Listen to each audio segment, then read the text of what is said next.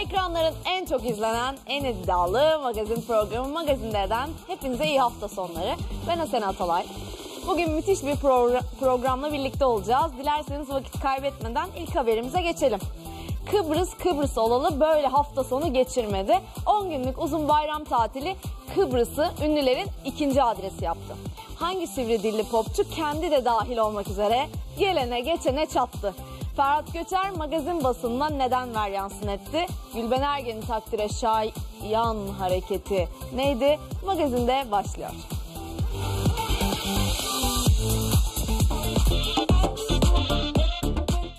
Böyle bayram. Günlük muhasebe yaparım. Orijinal bir fikir bulmamız lazım. Ne diyorsun ya? Yok böyle bombalar. Yaş söylerim kilo söylemem. Bir fil var bende de kalkmıyor. Bir sürpriz olacak ama. Gülben Ergen'den şok çıkış. Ben öldükten sonra Ünlü sanatçı neden bayram günü ölümü diline doladı? ben zaten ölmüşüm gitmişim. Ağzından yer alsın. Nur Yerlitaş habercilerin kulağına ne fısıldadı? Şeyi sorun üstümdeki leoparı sorun.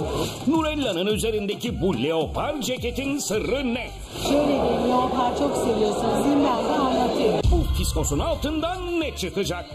Kıbrıs Kıbrıs olalı böyle bir hafta sonu geçirmedi. 10 günlük uzun bayram tatili Kıbrıs'ı ünlülerin ikinci adresi yaptı. İlk olarak Ferhat Göçer'leyiz. Ferhat Göçer bize kırgın. İlk sözü bu oluyor. Size şeyim var. Bana söz vermiştin.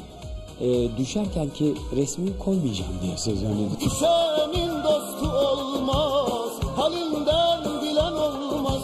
Ne yapalım Ferhat Bey? Siz de düşmeseydiniz denize. Gerçi çok sempatik olmuş ama Senin dostu olmaz, Evet evet çok sempatikti gerçekten de. Çok sempatik sempatik düştünüz. senin dostu olmaz. yani abiler dedim karizmayı bozmayayım bak yani güzel çekerken falan böyle en yakışıklı görüntüler falan filan hani falan. Daha dakika bir gol bir direkt sağ- suyun üstüne çıkıp kafa üstü çakıldığım resmi görüntüyü direkt vermişler arkadaşlar. Senin dostu olmaz, halinden bilen olmaz. Bu arada uzun süredir hayat arkadaşınız Ömür Gedik'le sizi göremiyoruz. Ee, Ömür'le işte arada kaçıyorum İstanbul'a bir görüşüyoruz. Ondan sonra ee, geliyorum onun da işleri yoğun. Hep iş, hep iş nereye kadar? Boşayacak Ömür Hanım sizi. Bir tatile götürmediniz hanımefendiyi. Siz Ömür'ün şeyiyle geldiniz galiba buraya böyle direkt.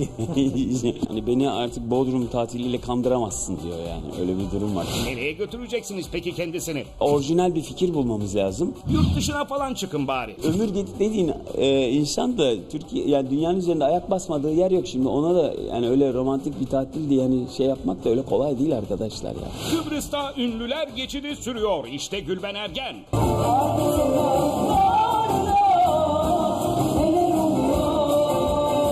Okyanus mavisi kıyafetiyle çok şık Gülben Ergen sahnede. Biraz sonra tekrar döneriz şarkılarına, türkülerine de önce şu kıyafetin sırrını öğrenelim. Ben zar duruyorum ki elbise zar diyorum zor duruyorum. Elbisenin içinde Biraz kilo mu aldınız siz? kilo söylemem. Yaş söylerim kilo söylemem. Bak sen, görünen köy kılavuzu istemez. Biraz almışsınız canım. Sizin gözünüz bayağı tartı olmuş yani. Olmaz mı? Şimdi 60 küsur kilo diyeceğiz ayıp olacak. Neyse bitti mi tatil faslı? 3 aydır Ege sahillerini arşınlıyorsunuz. Çocukların çok mutlu olacağı bir yaz tatili geçirdik. Yani 7-24 yapıştık birbirimize diyebilirim size. Tatil beni dinlendireceği yerde yordu diyorsunuz yani. Çocukları sevene e, yorgunluk değil elbette. Ben çok seviyorum çocuklarla vakit geçirmeyi. Çocuklar olunca konu gözlerinin içi gülüyor. Üç çocuk annesi Gülben Ergen'in. Evet oğlum bitti okullar açılıyor. Yapıyor. Daha dur daha dur ilkokuldasın daha. O kadar uzun sürecek ki ben biz de annelerimize söylerdik öyle bu okul ne zaman bitecek falan. Bunlarda da böyle ilkokulda başladı. Bir de sosyal medyayı sallayan çocuklarının kendisine yaptığı doğum günü sürprizi var. O konuyu sormamak olmaz değil mi? Güzel bir doğum günü yaptılar bana. Annem ve çocuklarla geçirdiğim en güzel doğum günlerimden birisiydi diyebilirim. Lahmacun bile yaptılar bana. Küçücük böyle hamurlarını açıyorlar falan filan. Bu arada organ bağışı ile ilgili bir mesajınız varmış galiba. Bütün organlarınızı bağışlamışsınız. Ben öldükten sonra bu kayıtlar elinizde olsun. Benim kalbim, benim böbreğim, benim gözüm, eğer başka birine hayat verirse başka birisinde yaşayan onun yaşamına katacağım bir şey var şu anda elimde. Bunu nasıl değerlendirmem diyorum ve herkesi herkesi organ bağışına davet ediyorum. Dedi Gülben Ergen mesajını verdi ve tekrar okyanus mavisi kıyafetiyle sahneye döndü.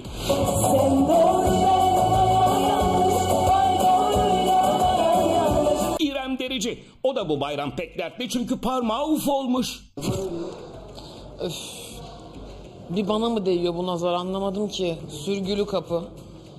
Fazla şey yapamadım böyle ne kadar hızlı kapanacağını. O yüzden şöyle bir durumdayım şu an. Çektiğim acıyı anlatamam. Sahneye nasıl çıkacaksın? Yapacak bir şey yok artık bugün böyle söyleyeceğim. Geçenlerde de düşmüştün sahnede. Neler oluyor hayatında İrem? Ne diyorsun ya? Nedir bu şanssızlıklar diyoruz? De bu yaz bir şey var, bir lanet var yani. Nasıl bir lanet? Bir fil var bende de kalkmıyor. Her gün kötü haberler işte garipleşti her şey yani. Bayramda zehir oldu sana. Bayramın ikinci günü abi coşkumu kaybedemem. Sahnemi yaparım aslanlar gibi. Sonra odaya gider ah parmağım diye. Büyük ihtimalle ağlarım. Neyse bu tatsız sohbeti bitirelim. Kıyafet çok şık. Var mı yeşilin bir manası? Paranın rengi. Senin de derdin hep para hep para. Ne bileyim artık beden küçüldü ya. 32 beden her yerde bulamıyorum. Olanı alıp çıkıyorum artık. Konuyu sen açtın. O kadar zayıfladı o kadar zayıfladı ki çocuk reyonundan giyinmeye başladı diyorlar senin için. Tabii 0-12. Artık oraya gideceğim. Neyse bu kadar sohbet yeter. Tekrar geçmiş olsun parmağın için. Doktor geldi. Adama diyorum ki böyle kalmaz değil mi? Kopmaz değil mi? Ve parmağını tuta tuta çıkıyor sahneye genç popçu.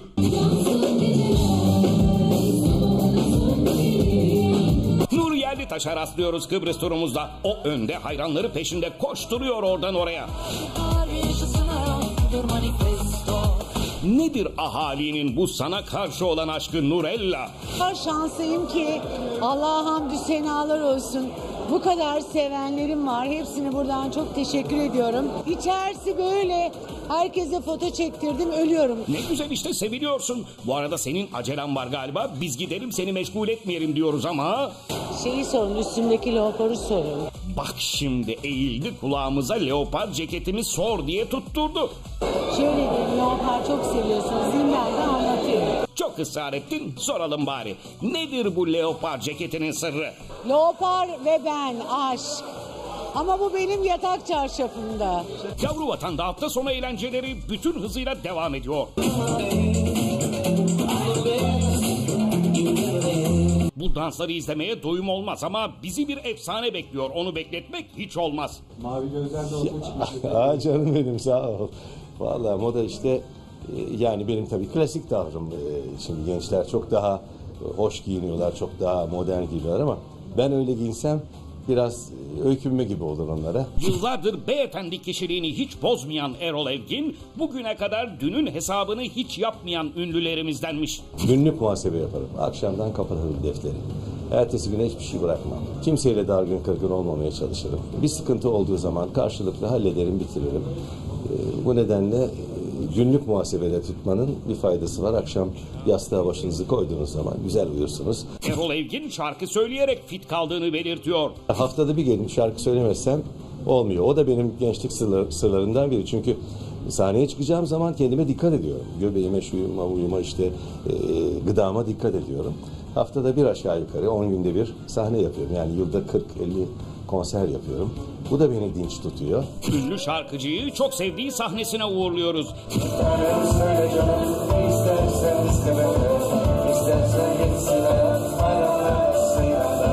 Ebru Gündeş'e gelinliği andıran bembeyaz dantel işlemeli kostümüyle sahnede adeta göz kamaştırıyor. Ünlü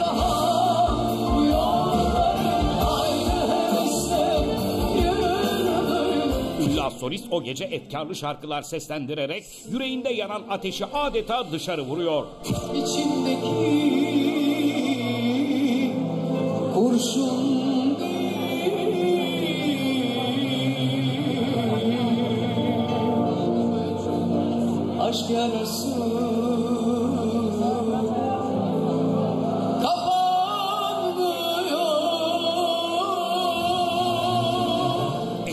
Ebru Gündeş'in yüzüne yansıyan ifadeler o kadar duygusal ki sormayın gitsin. Söyleyin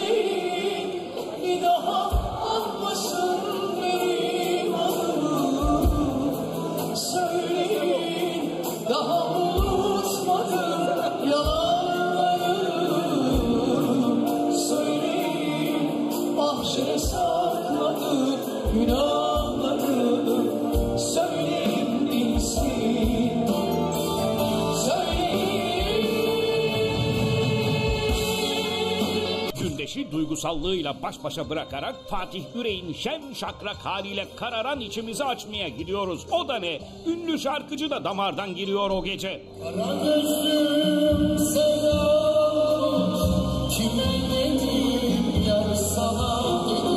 Hadi Fatih diyecek oluyoruz. Ünlü şarkıcı da sanki isteğimizi duymuşçasına başlıyor hareketli şarkılarına.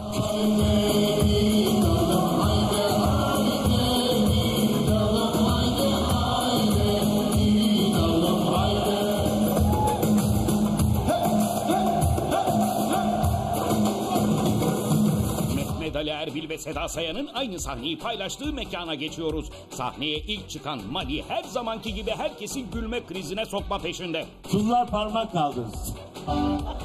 Bir tane dur yok mu Allah aşkına? Doğru ya tek dul benim. Mehmet Ali Erbil'in ikinci eşi Nergis Kumbasar içeri giriyor. Ünlü şovmenin sözlerine Mali'dir ne yapsa yeridir desek yanılmayız herhalde. Ay eski karım geldi. Şuraya bir baksa en az beş tane eski karım vardı. Erbil'in kızı Yasmin de babasını izlemeye gelmiş. Ay kurban olurum kızım da geldi. Gel kız şöyle görsünler. Babaya benziyor ama değil mi? Hiç alakası yok. Aynı benim gibi sarışın. Mavi gözlüm. Mali'nin espri bombardımanından eski eşi Nergis Kumbasar da nasibini alıyor. Çok heyecanlandım. İlk defa eski karımın karşısında sahneye çık. Çıkmış mıydın daha önce? Çok iyi var. Ama hatırlamıyorsun sen hiçbir şey. Evet. Evlendiğimizi hatırlıyorsun ya. Evlendiğimizi hatırlıyorum. Eşi Gülenay Kalkan'la gelen Tarık Ünlüoğlu da Mehmet Ali Erbil'in kıskacında. Tarık ünlü oldu. Ay bir şarkı söylemeden bırakmayız. Tarık Ünlüoğlu Tanju Okan'ın o dillere persenk olan şarkısını seslendirirken Mehmet Ali Erbil de boş durmuyor. Nergis Kumbasar'ı dansa kaldıran ünlü şovmen onunla birlikte güzel bir nostalji gecesi yaşıyor. Öyle sarhoş olsam ki daha ayrılmasam İstanbul gecelerinde durum nasıl merak ediyor musunuz? Hadi bakalım hangi ünlü kameralarımıza kiminle nerede yakalanmış. Gölgenin rahatına bak bir de dön kaderimin bahtına yar Geceler gündüzlere, gündüzler gecelere karışacak. Nasıl uyuyorsun geceleri uykusu kaçanlar, uykusuz her gece gecelerde sevgisiz kalanlar, aşkı arayanlar. Ah geceler sensiz geceler İstanbul gecelerindeyiz ilk olarak. Ve bakın kimler var karşımızda kimler? İyi akşamlar merhaba. Sağ olun nasılsınız? Ben Sus Soral, sözlüsü Hakan Baş'la el ele çıkıyor. Hayırdır gençler bu saatte siz sokaklarda olur muydunuz? Arkadaşlarımızla erken yemek yiyelim dedik. Onu gördük. Balıkçıda tıraş olacak haliniz yok. Tabii ki yemek yiyeceksiniz. Nasıl gidiyor iş güç? İyi tatil yapıyoruz. Ne yapalım keyfimiz yerinde. Hala mı tatil? Eylül geldi. İş güç yok mu? Daha net bir şey yok sadece projelere bakıyorum. Daha öyle kesin bir şey yok. Bu arada Bensu Soral'ın kendisi gibi oyuncu ablası Hande Soral elini çabuk tuttu evleniyor yakında. Biraz düğün dedikodusu versene bize Bensu ablanla ilgili. Bitti mi hazırlıklar? Hazırlığa başladık. Tarih belli olduktan sonra artık biz de inşallah yetişeceğiz, yetiştireceğiz elbiselerimizi düğüne. Senin dünyadan haberin yok kuzum. Tarih belli ablan söylememiş sana. Geçen hafta hemen hemen aynı yerde Bensu Soral'ın ablası Hande Soral'ı görmüştük enişteyle. Başka bir kız oynamayı planlıyorum. Bambaşka bir kadın olacağım demişti. Evlenmeye hazırlanan Hande Soral ve düğün telaşını anlatmıştı. Ufak ufak hazırlıklar yapılıyor. Biz de gününü bekliyoruz. Ekim'de olacak. Yağmur yağmasın diye dua edeceğimiz bir gün olacak. İzlemedin mi Bensu? Öğrenmedin mi ablan ne zaman evleniyor? Neyse gelelim sizin düğüne. Ne zaman seni baş göz edeceğiz Bensucuğum? O belli olunca söyleriz size. Çeyizin hazır mı peki? Hazırdır herhalde. Kız çeyizi var mı yok mu ondan bile bir haber. Hazırdır herhalde dedi. Aşk olsun. İyi akşamlar. Onları uğurladık. Selma Ergeç'e rastladık. Yanındakiler kim? Sarı sarı tipler. Turist mi kız bunlar? Evet, Almanya'dan arkadaşlarımız. Hmm, Bir de bu sene turist gelmedi memlekete diyorlar. Bak bizim ünlüler eşini dostunu getirip gezdiriyor. Nasıl gidiyor işler güçler? İyi teşekkürler. Siz nasılsınız? Sizi pek görmüyoruz dışarıda. Aslında buraya arada bir geliyoruz da size Bize denk gelmedi. size hiç denk gelmedim. O yüzden şaşırdım biraz. Bizim olmadığımız yerlerdesiniz tabii. Bu da sizin en tabii hakkınız. Hadi size de iyi eğlenceler, iyi geceler. Ve bir love story. Can Bonomo. Kim der bu çocuğa bu kadar romantik, Anlatılmaz bir şey. Ben seviyorum seni. bu kadar aşık, Tapıyorum sana. bu kadar kafası karışık ve bu kadar duygusal diye. Lan nesi var bunun? aşık baba aşık. Sevgilisi Öykü Karayel'in gözlerinde kayboluyor resmen an itibarıyla. Gözlerin beni benden alan Şarkıcı Can Bonomo ve oyuncu aşkı Öykü Karayel, Cihangir'in arka sokaklarında bir kafede liseli aşıklar gibi. Elim kaşım sevgilin liselim benim Son olarak aralarına Didem Soy'dan girmişti. İki kadın ki Can Bonomo benim yerim öykünün yanı. Ben öykü severim masal fıkra değil diyerek tekrar döndü öyküsüne. Ve o gece ünlü şarkıcı sevgilisinin elleriyle ellerini buluşturuyor. An itibarıyla gözler diller susuyor eller konuşuyor. Sonra veriyorlar burun buruna romantizmin doruklarındalar. Beni çok sev Can kardeşimizi Öykü yengemizle en kısa sürede inşallah baş göz edeceğiz, rahatlayacağız milletçe ve dönüyoruz bir başka çifte. Çok tatlısın güzelsin Şekerci mi baban senin Beyza Şekerci ve Engin Hepileri. Onlar çoktan cicim günlerini aşmış, yuvalarını kurmuşlar. Evli, mutlular. Bir tek ne eksik? Evet, soralım bakalım gençlere ne zaman gelecek bir miniş bebek? En kısa zamanda inşallah. Çünkü ben konuşurken bir yandan da bakıyorum böyle Ah, gözler güzel. parlıyor. Ben zaten bekliyordum konu oradan bir dönüp dolaşıp gelir diye. Geldi bile sıra. Kim cevap verecek? En doğru zamanda Bir plan var yani. planlandığı zaman böyle şeyler projelendirdiği zaman olmaz. Anlamadık şimdi. İş başka bir şey ama aile olmak, o aileyi çoğaltmak başka bir şey. Sen böyle kaçak güreşe dur ama bak yengemiz Beyza Hanım'ın gözleri parladı bebek konusu açılınca. Taraf istiyor yani Engin abi. Hepimizi ben de istiyorum. Tabii ki o da istiyor. Neden istenmesin? parlıyor. Konuş kız Beyza. Top sende. Biz ikna edemedik enişteyi. Aile olmak çocuk çok Ne güzel, güzel. bir şey yani gerçekten o duygu o sevgi başka bir şey ama Tabii. her şeyin bir zamanı var. Aynen. E, biraz da e, yaştan da yararlanıyorum galiba. Hadi bakalım hayırlısı diyelim o zaman. Çok yaşayan değil çok dolaşan bilir derler ya. O misal sürüyor turumuz. Taşımı kendim aldım tek başıma kendim taktım girmesinler havaya Genç ve güzel oyuncu Eda Ece kendine tek taş mı alacak ne? Ve benim liseden beri en yakın arkadaşım kendi bakılır mı tekrar? Hmm, demek arkadaşına tek taş alıyorsun. Senin gibi bir arkadaş bulamadık biz de. Neyse nerelerdeydin? Gitmedin mi kız Bodrum'a Modrum'a? Bodrum'a gittim ama sezon daha başlamamıştı. Ee nerede kaldın? Aile evinde kaldım. Bir daha gitsene. Şöyle sahile insene bize güzel güzel pozlar versene. Yarın İrlanda'ya gidiyorum. Oraya gelmezsiniz diye düşünüyorum. İşimiz var ayol oralarda? Soğuktur şimdi İrlanda. 9-10 dereceymiş şu an. Birazcık son dakika pişman oldum ama. Kutuplara gitseydin bari. Neyse devam et sen alışverişe. Sokaklarda çok malzeme var bize. Vallahi üç gündüzü alışveriş çıkışı yakalıyorsunuz. Gürgen Öz kardeşimiz kız arkadaşı İthal yengemiz Emily ile alışverişten dönüyor. Hanımefendi elinde çikolata afiyetle yerken bizimki poşetleri taşıyor. Bir eliyle diğer eliyle de kuçu kuçularını gezdiriyor. Ya Gürgen tamam kibar çocuksun da poşetleri tabii ki sen taşıyacaksın da bari kuçu kuçuyu yengeye verseydin. Bak kanter içinde kalmışsın. Erkeklerde yanar hem de nasıl yanar Afrika'dan atlet, Amerika'dan basketçi, Azerbaycan'dan güreşçi, gurbetten boksçu, Güney Amerika'dan topçu transfer ediyorduk da artık manken de ithal etmeye başladık. İşte Jessica, Brezilya'dan geldi kendileri. İkinci vatanım Türkiye o yüzden. Tamam tamam kız bizden birisin kabul ettik. Hatta geçen gün millet Bodrum Çeşme gezerken sen yurdu keşfe çıkmış Karadeniz'de dolaşmışsın. Evet ben gezmeye gittim oraya. Ben Karadeniz çok seviyorum. Nasıl oralar? Yemyeşil değil mi?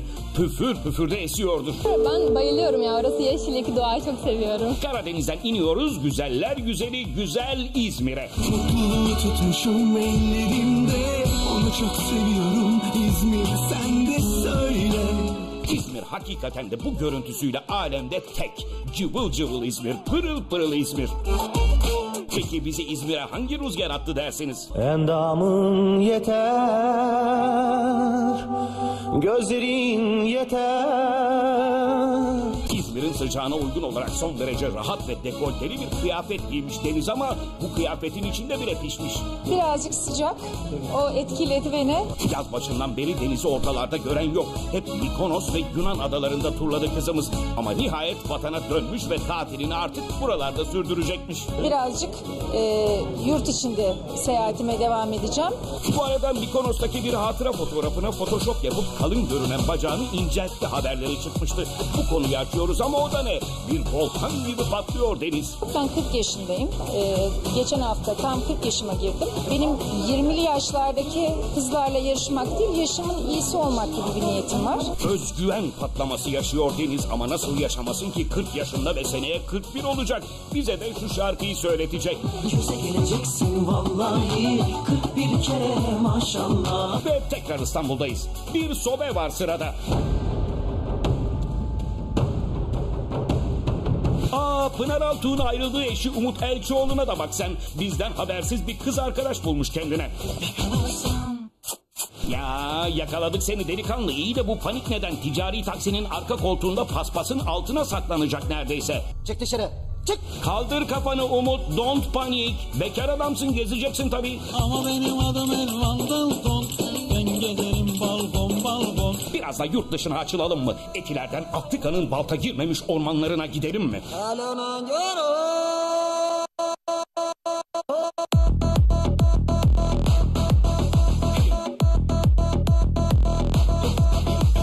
Engin Altan Düz Yatan'la eşi Neslişah Alkoçlar tatil dediğin Afrika'nın balta girmemiş ormanlarında yapılır demiş ve aslanlar, kaplanlar, zürafalar, zebraların arasına atmışlar kendilerini.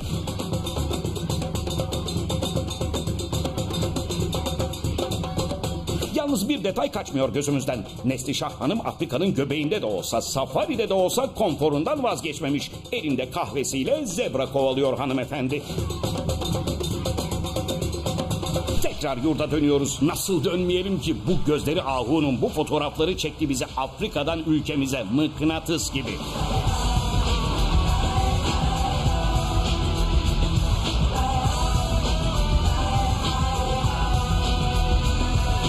Sevgilisi Alp Özcan'dan ayrıldıktan sonra Meryem Uzer'le adeta yeniden özgürlüğünü ilan etti ve işte kameralar önüne geçip bu fotoğrafları çektirdi.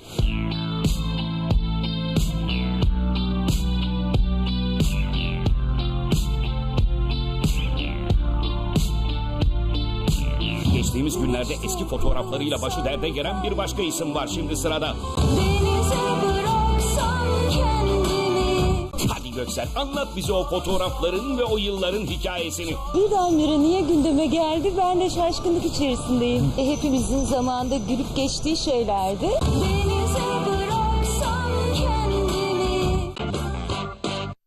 Arif ve 216'nın çekimlerini tamamlayan ünlü komedyen Cem Yılmaz çalışarak, çalış- çalışarak geçirdiği günlerin acısını Bodrum gecelerinde fazlasıyla çıkarmaya devam ediyor. İşte Cem Yılmaz'ın Bodrum gece hayatına damgasını vurduğu o anlar. Al beni yanına yakışırız ama çok çok. Filmlerde böyle, Haydi gidelim haydi. Gerçekte böyle. Yok böyle bir gece, yok böyle bir eğlence. Cem Yılmaz Bodrum gecelerinde davul da çaldı. Darbukada. Arabesk de okudu. Pop da okudu. Sonunda senin olacak. Kah Levent Yüksel'in kulaklarını çınlattı. En zor şarkısı onun sözlerini. Levent Yüksel hatırlamıyor. Kah Tarkan'a canlı bağlandı. Alo. Cem Yılmaz'ın bu film sahnesini aratmayan olay gecesinde neler oldu neler. Haydi gidelim haydi. Bıktıma usandırım. Haydi gidelim haydi. haydi. Evet, Cem Yılmaz'ın oyuncu arkadaşlarıyla çıktığı Bodrum gecelerindeki o çılgın eğlencelerine gidiyoruz şimdi. Cem Yılmaz'ın bu gece kulübündeki eğlencesi ister misiniz yıllar önce çektiği Av Mevsimi filmindeki gibi keyifli bir sahne çıkarsın ortaya? Haydi gidelim haydi haydi gidelim haydi haydi gidelim haydi. İddia ediyoruz biraz sonra izleyeceğiniz görüntüler en az bu sahne kadar keyifli.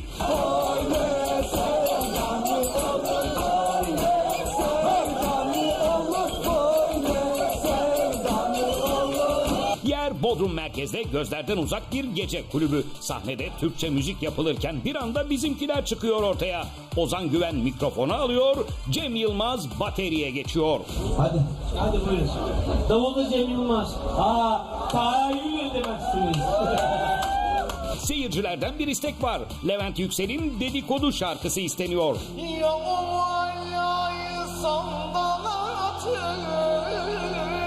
Cem Yılmaz şaşırıyor ve yıllar öncesinin bu şarkısıyla ilgili espriyi patlatıyor. Dünyanın en zor şarkısı lan onun sözlerini. Levent Yüksel hatırlamıyor. O zaman Sezen Aksu'dan sitem gelsin diye ısrarlar başlıyor. Sitem. Hadi. Hadi buyurun. Cem Yılmaz ben bunu da söyleyemem diyor. Ozan Güven'e atıyor topu.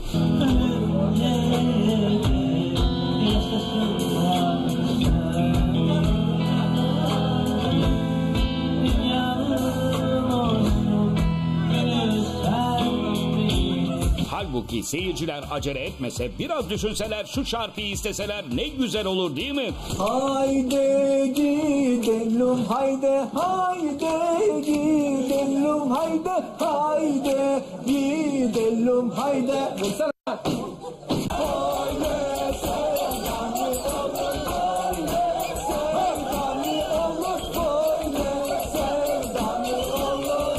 Neyse bu şarkı gelmedi akla. Olanla idare edeceğiz. Ozan Güven önde, Cem Yılmaz arkada başlıyor sitem.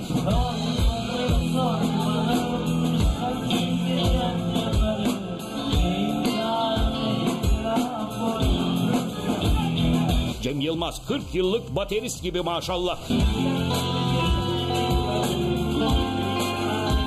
Bir istek daha geliyor. Bu kez Tarkan'dan şu şarkı isteniyor. Gel gündüzle gece olalım Gel gökyüzünde yıldız olalım Tarkan böyle yorumladı şarkıyı. Peki Cem Yılmaz ve Ozan Güven ikilisi nasıl bir performans sergileyecek?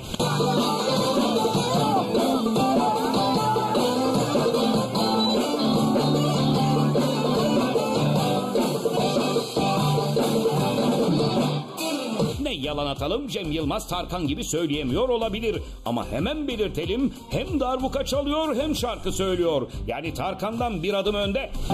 Ve sonunda senin olacak. Yuh! Cem Yılmaz tam kaptırmış şarkıya giderken bir aksilik yaşanıyor. Şarkının sözlerini unutuyorlar ama Cem'de çare çok. Sarılıyor telefona Tarkan'ı arıyor. Çocuklar ne yapmadı ne yapmaydı bir dakika.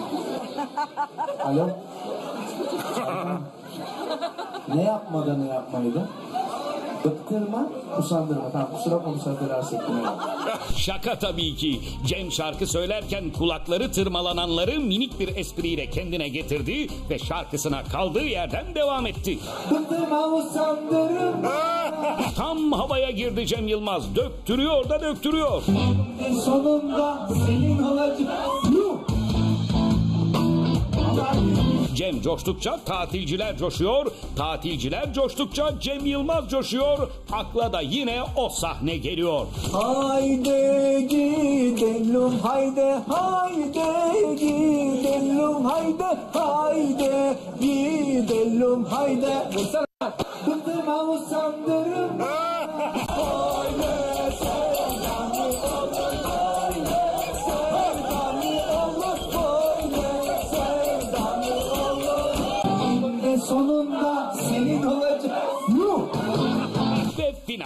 telden çaldı söyledi Cem Yılmaz o gece. Peki böyle muhteşem bir gecenin finali nasıl olmalı? Hangi şarkıyla geceye noktayı koymalı acaba?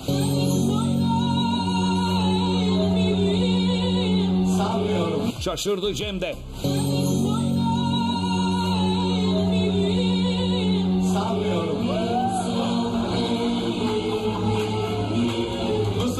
Bu şarkıyla bu girişim çok tuhaf gerçekten. Ne yapsa bilemedi ve patlatmaya başladı esprileri peşi sıra. Tövbe estağfurullah. İnsan önce bir destur da. Ben mi yarattım? Yuh. Sonunda da sizi kıracağıma kafamı kırarım dedi ve İbrahim Tatlıses'ten ben insan değil miyimi okuyuverdi. Hayır efendim. Kaderin böylesini ben mi yarattım? Bodrum'da mı soruyorum? soruyorum. Şimdi aşkların aşıkların şehri Bodrum'a, tatil cenneti tatilcilerin göz bebeği olan Bodrum'a gidiyoruz. Gecesi ayrı, gündüzü ayrı. Bakalım hangi ünlü isimler kiminle Bodrum'da nasıl yakalanmışlar. Söyle canım ne istersen iste benden. İstersen gitsin hayat. Hadi gideyim ben artık. Bayramlarla seyranlarla. Mavisi ayrı güzel, Mavi mavi masmavi. yeşili ayrı güzel. Yeşil gözlerinde sevda, yeşil gözlerinde bela. Ve kombinleri çok özel. Begonvil boy vermiştir şimdi. Eğlenceleri süper. Gündüzler ayrı şen. Geceler çalıyor ayrı telden.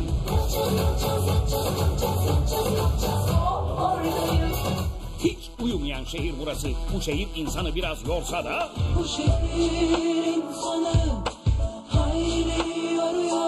Bu şehirde zaman ışık hızı ilerliyor.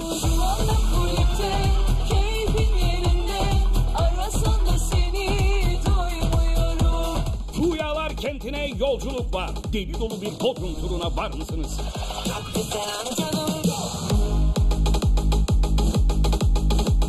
Bodrum'un girişinde hemen Halikarnas balıkçısının sizi selamlamasından sonra sizi Ebru Şallı selamlayacak. Bir selam canım baksana. Bu kızın Bodrum'a her ayak basışı olay. Geçen sefer bu fotoğraflarıyla yıkıp geçmişti. Yakar geçerim. Şimdi de bu halleriyle gün gün sallıyor Bodrum'u. Bodrum plajlarına inip ahaliye soruyor adeta. Ey ahali var mı benden daha incesi daha sıfır bedeni der gibi şallı kız Ebru. Gitme bu kalp durmaz. Daha çok. Şaka bir yana Ebru Şallı tek başına gelmiş Bodrum'a. Yalnızım dostlarım, yalnızım yalnız. Hayır hayır olmadı bu şarkı. Daha sıkı bir şarkı lazım bu kızın kendi kendine verdiği bu pozları anlatmak adına. Havan yerinde Alaturka oldum, oynamadan duramam. Ebru Şallı kaldığı bungalovun önünde almış eline telefonu bir sağdan çekiyor kendini böyle. Bir soldan çekiyor böyle. Bazen kuşbaşı, kuşbaşı da nereden çıktı? Kuş bakışı tepeden çekiyor kendini. Bazen alt açı. Bazen tüle dolanıyor. Bazen ördek dudak oluyor. Bazen masum bir kedi gibi bakıyor. Bazen hırçın bir kartal gibi sertleşiyor bakışları. Abartıyoruz sandınız ama inanın abartmıyoruz. Ebru Şallı kızımız Bodrum'a tatile değil kendi başına selfie çekmeye gelmiş resmen. Let me take another selfie. Ebru Şallı'yı kendi halinde bırakıyor, Bodrum turumuzu sürdürüyoruz. Oo bakın kimler gelmiş Bodrum'a kimler. Kendine gel, sen kendine kendine gel. Gonca Evcimik kendine gelmiş resmen. Yıllar sonra özüne dönmüş, güveni yerine gelmiş. Yaşı 53, bu yaştan sonra mayo giymesi güç diyenlere inat sahillerde. Aboneyim abone, bilekleri cebimde. Denize girecek şimdi ama gözlüklerini çıkarmayı unuttu galiba. Yo bilinçli, gözlüğünü çıkarmıyor hanımefendi. Gözlükleriyle yüzüyor. Acaba tanınmamak için mi çıkarmıyor gözlüklerini diyeceğiz ama o altın sarısı saçları, bu kendine has gülüşü varken yüzünde onu tanımamanın var mı imkanı? Umudum yarınlarda, Jimmy'yi de deniz keyfiyle baş başa bırakıyor ve devam ediyoruz turumuza. Bu kadar güneş deniz şimdilik yeter. Yeterince D vitamini aldık. O zaman hadi eğlenceye. Göcek'ten geliyorum. Göcek inan düğünümüz var biliyorsunuz. Evet. Esat'ın inanılmaz sıcaktı. Burası benim için şu an Cennet. cennet yemin ediyorum. Cennet gerçekten. Evet. Düğünde oynadınız mı? Evet. ben düğünde oturduğumu hatırlamıyorum. Yani bugün için hatta biraz korktum. Topukları nasıl giyebileceğim diye. Hmm, çok mu oynadın? Evet. Oturduğumu hatırlamıyorum. O kadar dans ettim anlatamam. Size Halay hiç oturmadım. Vallahi halay çekilmedi. Ankara'nın bağları vardı en son onu hatırlıyorum. Ee, artık yavaş yavaş sıra sana da geliyor değil mi hadise? Ay bilmiyorum ya kısmet bu işler. Kısmet mısmet diye geçiştirme. İş güç diye bizi oyalama. İşime aşık. Bak yine aynı nakarat. Ne yani? Milyonlarca evli kadın var. Onlardan örnek al kendine. Evlilik yani işi frenleyecek diye bir şey yok. Belki de başka bir boyuta taşır. Taşır taşır merak etme. Ama hiçbir şekilde yani Yoksa evlilikten mi korkuyorsun? korkutmuyor. Korkma zaten. Evlenince emin ol daha da cesur olacaksın. Belki de hiç duymayacaksınız evlendiğim o da olabilir. Bak şimdi konuyu nerelere getirdi. Eğer bizden gizli evlenecek olursan inan değişiriz külahları. Bu arada bizi ilk kez kulisinde ağırlıyorsun ama çok mütevazı kulisin. Benim çok büyük isteğim yok yani. Neler olmalı kulisinde? Kulisim soğuk olsun isterim. Kuzey kutbu insanısın tabii alışkınsın sen. Her ortamı soğuk severim. Başka ne olmalı kulisinde? Su, ayna çok önemli. Ya yiyecek bir şey istemez misin? Aç mı çıkarsın sahneye? Birazcık meyve olur o kadar yani. Vay be senin gibi popstar da az bulunur. Ben çok ucuzum ya ucuz ucuz. Estağfurullah. Biraz kaprisli olayım ben. Neyse çok lafa tuttuk seni. Hadi sevenlerin bekler. Git eğlen ve eğlendir insanları. Thank you. Esra Akkaya çok ortalara çıkmaya başladı şu sıra. Çünkü hanımefendi aşık bu beye. Sen aşıksın arkadaş. Geçen hafta sahilde beyefendinin omzunu öperken görüntülenmişti. Ne yapsın Esra boyu 1.65 ve 2 metrelik zümrüt şortlu beyefendinin ancak omzuna geldiği için omzunu öpüyor demiştik. Kırılmış bize. Benim boyum 1.65 değil 1.67 diye. Şöyle bir süzünce Esra'yı hak veriyoruz kendisine. Evet boyu 1.65 değil 1.67 ama hala zümrüt şortlu sevgilisinden çok kısa. Aman bize nasip olur inşallah Boyuna da posuna da bin maşallah Neyse boy meselesine takılmayalım çünkü gençlerin karnı zil çalıyor çok acıkmışlar. 15 liraya döner kebabı görünce çöküyorlar masaya derhal ailece. Yanlarında Esra Akkaya'nın evlat edindiği sevimli bu minik de var. Dürümler geliyor porsiyon porsiyon nefes almadan yiyor Esra Akkaya. Ye ye ye afiyet olsun da sonra plaja inince bu göbek görününce bize kızıyorsun. Niye göbekli çektiniz diye. Ne yapalım Esra? Göbek yoktu da var mı dedik. Bu dürümleri 15 liraya bulunca porsiyon porsiyon yiyen biz miydik? Şaka şaka. Can boğazdan gelir. Ye iyice de hamur işleri yerken Canan Karatay'a görünme. Ayşe Hatun Önal hep merak ediyorduk bu kız Bodrum'da neden sahne dışında ortalarda görünmüyor diye. Sonunda meseleyi çözdük. Gözünden Ama kalbimi kalbimi kalbimi sıkıyor Ayşe Hatun Önal meğer yüzme bilmiyormuş. O yüzden sahillere inmiyormuş. Hatta şu an ziyaret ettiğimiz evinin özel havuzu var. Kız orada bile havuza girmiyor. Çocuk havuzunda böyle ayaklarını ıslatıyor. Bu arada ne yalan atalım Ayşe'nin Bodrum'da kaldığı evin manzarası da bahçesi de sağ solu da ortamı da enfes. Püfür püfür de esiyor maşallah. 46 derece Bodrum sıcağında bile burada serinliyorsunuz. Ev kiralık mı yoksa sahibi mi Ayşe sormaya çekindik ama zevkli kızmış Ayşe onu öğrendik. Bu arada birazdan Ayşe ile sahnede tekrar buluşacağız. Bomba açıklamaları var onları ekrana getireceğiz. Ben hayatımda hiç yalnız olmadım. Demet Akalınsız bir Bodrum turu olur mu hiç? Orada bir dur Geride dur Keyfi de yerinde. Bir eski arkadaşını görünce izleyenler arasında maziye dönüyor. 18'ine yeni basmışım. Bir soruma gidiyordum ben. Neyse çok fazla anlatmayayım. Bütün kayınpeder kaynana arkada. Oo orada bir dur. Orada bir dur Geride dur Madem kayınvaliden ve kayınpederin burada niye oyalıyorsun bizi sahnede? Bize ne senin gençlik hatırandan? Bize senin kaynanan ve kayınpederin lazım. Hemen gidiyoruz sahnenin arkasına. Gelinleri sahnede şarkı söylerken Okan Kurt'un anne ve babası torunları Hira ile meşgul. Annesi sahnedeyken Hira arkada dedesiyle oynuyor. Bir ara Okan Hira'yı alıp tekrar annesinin yanına götürüyor.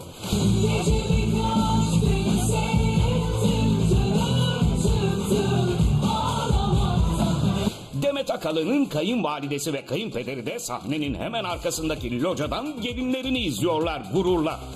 Ve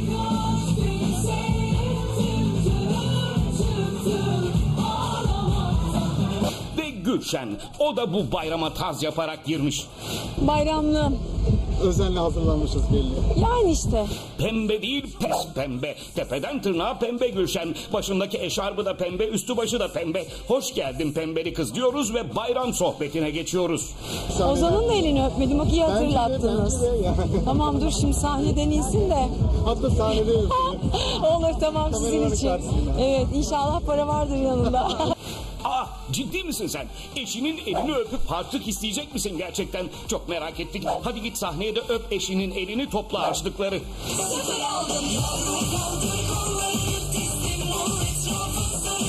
Ve Gülşen ilk şarkısını okuduktan sonra dediğini yapıyor. Ozan Bey'in elini öper misiniz dediler. Ben de dedim ki parası yoksa asla öpmem dedim. Ozan Çolakoğlu şaşırdı. Hiç beklemiyordu böyle bir şeyi. Eşi Gülşen şaka yapıyor sandı ama...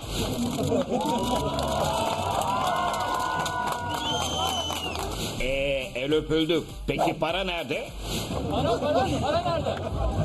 Ozan Çolakoğlu ceplerini kontrol etti ama cep boş. Ay boşuna öptüm valla. Neyse alacağı olsun Gülşen'in eşinden. Gerçi bayram harçlığı da veresiye olmaz ya. Neyse. Ne kadar popçu varsa doluştu bu hafta Bodrum'a. İşte Ayşe Hatun Önal.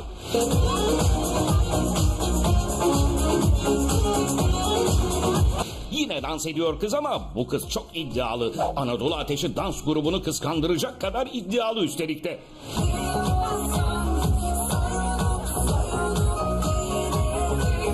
Kulisindeyiz Ayşe Hatun Önal'ın. Neden seni hep yalnız görüyoruz? Kimle görmek istiyorsun? Mesela sevgilinle. Hep yalnızsın kız. Ben hayatımda hiç yalnız olmadım. Ne demek istedi şimdi anlayamadık valla.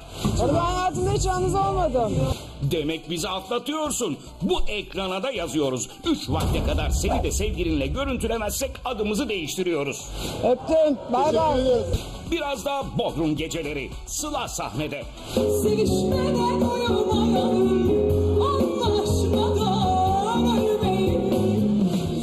Hanımefendi tarz yapmış. O güzelim at yeresi gibi saçlarına kıymış, rengini değiştirmiş, küt kestirmiş. Bir Ne yalan atalım güzel de olmuş. Gençleşmiş iyice. Saçları nasıl olmuş ya? Güzel olmuş dedik ya. Neyse Sıla buralarda olduğuna göre Tüpçü Fikret namı diğer Delon Ahmet yani sevgilisi Ahmet Kural da buralarda olmalı. İşte burada Delon Ahmet. Gözlerimize inanamıyoruz. O da imaj yapmış. Kaytan bıyıklarına kıymış, sakalını inceltmiş, bambaşka biri olmuş. Tam halen Delon olmuş. Senin fikrin mi yoksa Sıla mı istedi de kestirdin? E, tabii ki de kendi isteğimizde hiçbir zaman olmuyor. Hmm, yeni halini de beğendi mi bari? beğendi beğendi. Beğendi beğendi. Bu arada önceki gün Sıla'nla enfes bir tatil yapmışsınız. Fotoğraflarınız pek romantikti. Anlat bakalım Delon Ahmet bu fotoğrafların öyküsünü. Güzel her şey güzel gidiyor ya. Tatilimiz de güzeldi. Tatil devam edecek Bayrağı ben devraldım devam ediyoruz biz. Murat Cemcir girdi söze. Bu arada Murat Kankan Ahmet'i verdik damat. Sıra sana geldi. Senden de bekliyoruz çok yakında bir aşk bombası. Nasip kısmet bakalım. Sıla Hanım ne derse o. Kavga gürültü ayrılan Deniz Seki ve nişanlısı Faruk Salman bayram günü nasıl barıştı? Nişanlısını sahneye gönderdiği çiçek ve evlenme teklifi Deniz Seki'yi nasıl hüngür hüngür ağlattı? Ayrılığın ve barışmanın nedeni gerçekten de reklam mıydı? Deniz Seki ve Faruk Salman'ın hayatında neler oluyor? İkili yeniden evlilik hazırlıklarına mı başladı? Tüm bu soruların yanıtını merak ediyorsanız şimdiki haberimizde. Aşk beni çağır da yanına Kedi gibi sokulayım sıcağına Beni sar sarmala da sonra Kıbrıs'ta aşk başkadır. Bir hafta önce kavga gürültü ayrılan Deniz Seki ve nişanlısı Faruk Salman bayram günü nasıl barıştılar? Faruk'la ilgili bütün sorularınızı Faruk Bey'e gidin. Başına çökün. Benim için de sorun. Valla cevabı tabii ki bende de yani. Ve büyük aşkta son nokta. Bayramda küs kalınmaz. Nişanlısının sahneye gönderdiği çiçek ve evlenme teklifi Deniz Seki'yi hüngür hüngür ağlattı. Ay çok duygulandım be. Biz okyanusları geçtik derede mi boğulacağız? Yılın düğünü ne zaman? Şok ayrılık ve şok barış sonrası ortaya atılan bir iddia Deniz Seki'yi yıktı. Tam olduğu konuşuluyor ayrılık barışılmanın. Ayrılığın ve barışın nedeni gerçekten de reklam mıydı? Deniz Seki ve Faruk Salman'ın hayatında neler oluyor? Neler oluyor bize Şimdi bütün bu soruların cevaplarını birinci ağızdan alacağız. oluyor sana bana neler oluyor Çok değil bir hafta önce Deniz Seki medyaya gönderdiği bir mektupla 5 yılı aşkın süredir beraberlik yaşadığı, nişanlandığı Faruk Salman'dan ayrıldığını açıklamıştı. Bu haber basına nasıl sızdı ben şaşkınım. Sevgimizden yana bir şüphemiz yok. Ama benim iş yoğunluğum, onun bu yoğunluğa alışamaması, dengeyi bulamadık maalesef. Bu karar Faruk Bey'in almış olduğu bir karar. Belki yarın ne olacağı belli olmayan bu kadar özel bir ilişkiye çıkıp konuşmak bana, bize yakışmaz. Kendisini en zor günlerde dahi bırakmayan, cezaevi günlerinde bile her hafta düzenli olarak ziyaretine giden Faruk Salman'ın ani bir kararla nişan atması ortalığı karıştırmıştı. Nasıl sevdik birbirimizi. Deniz Seki'nin iddiasına göre Faruk Salman hem kendisinin hem Deniz Seki'nin yoğunluğunu gerekçe göstererek nişan atmıştı. Deniz Seki aldatıldı mı? O günlerde konuşulan başka iddialar da vardı. Bu iddialara göre Deniz Seki'nin cezaevi günlerinde Faruk Salman bir yabancı güzele aşık olmuş. Deniz Seki de bunu haber alınca kriz çıkmıştı. İki kanın bir ana. Ve bir iddia daha vardı. Deniz Seki istenmeyen gelin. İddialara göre çift Ekim ayı sonunda evlenecekti. Ancak Faruk Salman'ın ailesinin baştan beri Deniz Seki'yi istemediği de biliniyordu. Faruk Salman ailesini düğün konusunda ikna edemeyince artık ipler tamamen kopma noktasına gelmişti. Peki kriz nasıl aşıldı? Evet bütün bu iddiaların cevapları netleşmeden yeni bir gelişme yaşandı ve bu kez de Deniz Seki ile Faruk Salman barıştı. Yeniden başlasın.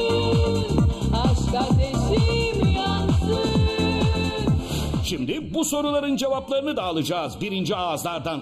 Önce Deniz Seki ile beraberiz Kıbrıs'ta. Pembeli pembeli geliyor ve de çok neşeli geliyor Deniz Seki. Kuşu falan yazmayın. Yanakların şeker kızıyım. Nesiniz nesiniz? Benim şeker kızım. Peki şeker kız kendi hanım. Direkt konuya gireceğiz çünkü bayram öncesi şok bir haberle üzdünüz bizi. Ayrılık,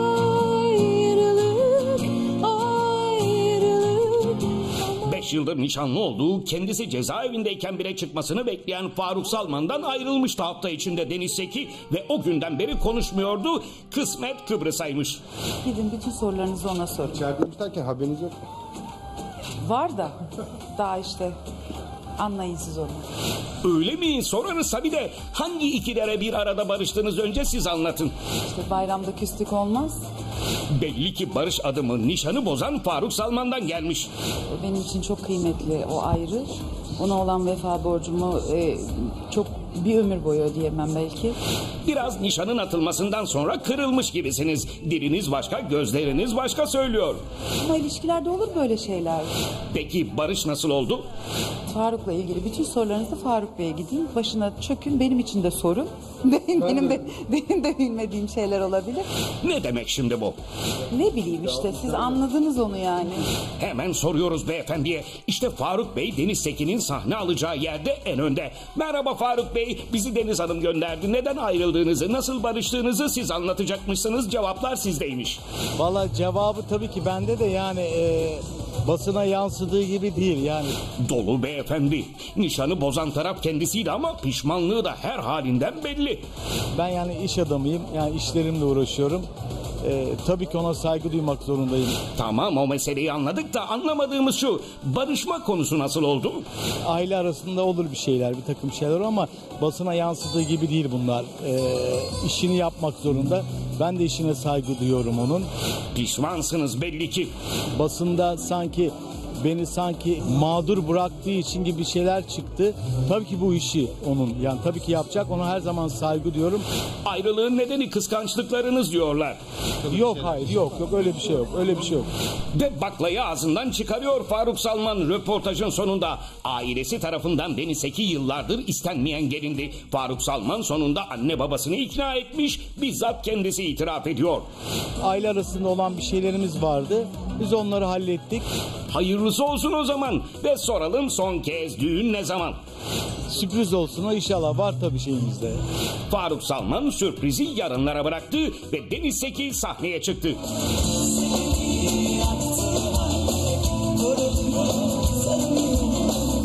Yüzü gülüyor şarkılarını söylerken ve şarkı bitiminde bir sürpriz. Benim ilk aşkım. Seni çok seviyorum. Faruk Salman. Bayram arifesinde yeniden barıştığı nişanlısından sahneye gelen çiçek ve duygusal not bir anda utandırıyor, duygulandırıyor Deniz Seki'yi. Bayramda küs kalınmaz. Biz okyanusları geçtik, derede mi boğulacağız? Teşekkür ederim aşkım, hoş geldin. Ay çok duygulandım be. Gözleri doluyor ünlü sanatçının. Herkes bizim için yazdı, çizdi, söyledi. Olsun. Olur böyle şeyler, ayrılıklar arada değil mi? Onlar ilişkiye nefes olur.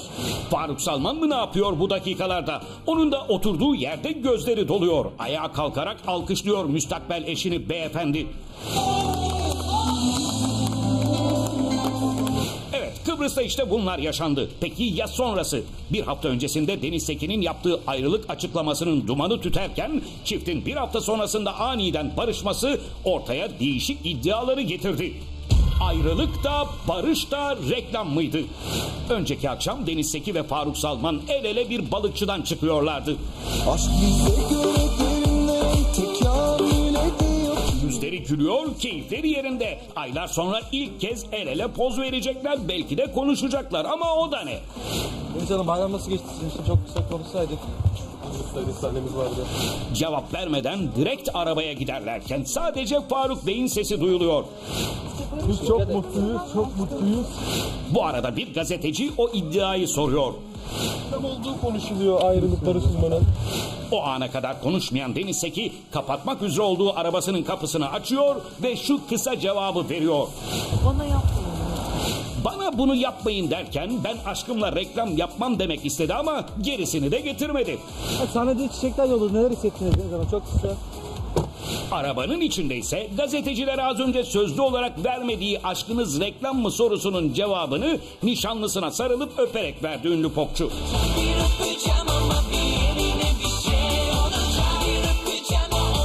Sonrasında bir öpücükle gazetecilere vererek karıştı karanlığa.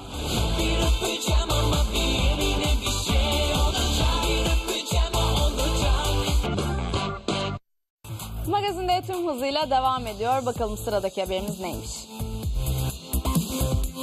Ah aşkım aman aşkım sen ne dersen tamam aşkım.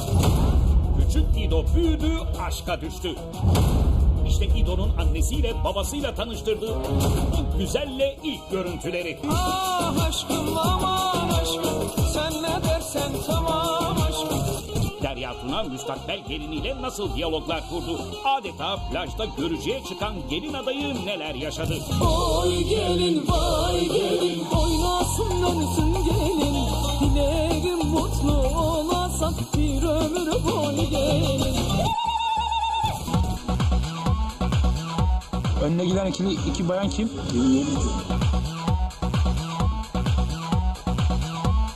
İdo Tatlıses. İbrahim Tatlıses ve Derya Tuna'nın oğulları İdo çok değil 3-4 hafta önce yalnızlığını böyle anlatmıştı. Hayatımda biri yok. Ben zaten böyle şeyleri de saklayan birisi de değilim. Böyle hayatımda biri olduğu zaman aman saklayayım yok kapşonla çıkayım bilmem ne yapayım onu yapayım bunu yapayım çekinmeyeyim öyle bir şey yok. Ben herkesten önce kendim paylaşıyorum ama hakikaten hayatımda kimse yok. Ve o İdo sürpriz yapıyor, bir kız arkadaşıyla ilk kez magazin D kameralarına işte böyle yakalanıyordu. Hadi gel biz bir araya gelelim Bir şey olmaz ben işimi bilirim İdo ve kız arkadaşının plajdaki romantik dakikaları etraftaki meraklı gözlerin hapsinde bu dakikalarda. Kayıttayım kanka. Beyazlı mı? Oturan mı şu an? Kokusu var Arada plajda bikinisiyle güneşlenen Derya Tuna da İbo'nun yanından kalkmış oğluyla müstakbel gelininin yanına gelmişti. Derya Hanım da burada. Derya Tuna hemen oğlunun ve gelin adayının yanında biraz ileride de İbrahim Tatlıses vardı. İbrahim Tatlıses de burada oturuyor. Şurada. Derya Tuna gelin adayıyla tanışmıştı tanışmasına ama yine de mesafeli durmaya özen gösteriyordu. E ilk günden gelinle fazla yüz göz olmaya gelmezdi değil mi? Ha bak Derya Tuna. Der, Aa, Derya abla geldi. Ah ya ah ya anladım ya Sonunda gelin oldum ya E kaynanalık böyle bir şey tabii. Mesafeyi koruyacak gelin hanımla en azından ilk günlerde değil mi? Abi kaynana ne yaptın bize ne bize Bana bak kız. Yolarım seni. Tekrar dönüyoruz İdo'ya. İdo kız arkadaşını annesiyle tanıştırmış olmanın rahatlığıyla ve coşkusuyla pek neşeliydi. Önüne gelene şaka yapıyordu, buzlu kovayla tatilcileri kovalıyordu. Evet su savaşı yapıyorlar.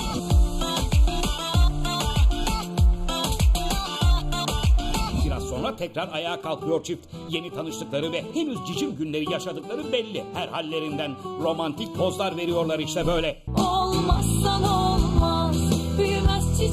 çiçeklerim Toprağım havalanmaz Kurur gider bahçelerim İdo'dan kız arkadaşının omzuna da minik bir buse geliyor. Aylar kaşlara Süslem o dudaklara Öp öp öp öp Doyamadım Omzundan öptü. Coşku tavan yapmış durumda. Dans ediyor gençler. Ali Ali Ali Denize atacak gibi değil mi? Direğin arkasında yapmayın ne olur. Şakacı çocuk İdo kız arkadaşını suya attı atacak şimdi. Atacak ya. Kıyamadı, atmadı. Bu arada bizim muhabir arkadaşların İdo'nun kız arkadaşıyla ilgili kritikleri de ilginç. Kız manken mi acaba? Boyu uzun çünkü. İdo 1.90 üzerinde olduğuna göre. Bu arada İdo'yu kız arkadaşına her ne kadar zaman zaman böyle sulu espriler yapma çabası içinde görsek de genel itibarıyla gözlemimiz tıpkı babasının şarkısında olduğu gibi hanımefendiye son derece tutkuyla bağlı olduğu, her dediğine tamam aşkım dediği belli. Ah aşkım aman aşkım Sen ne dersen tamam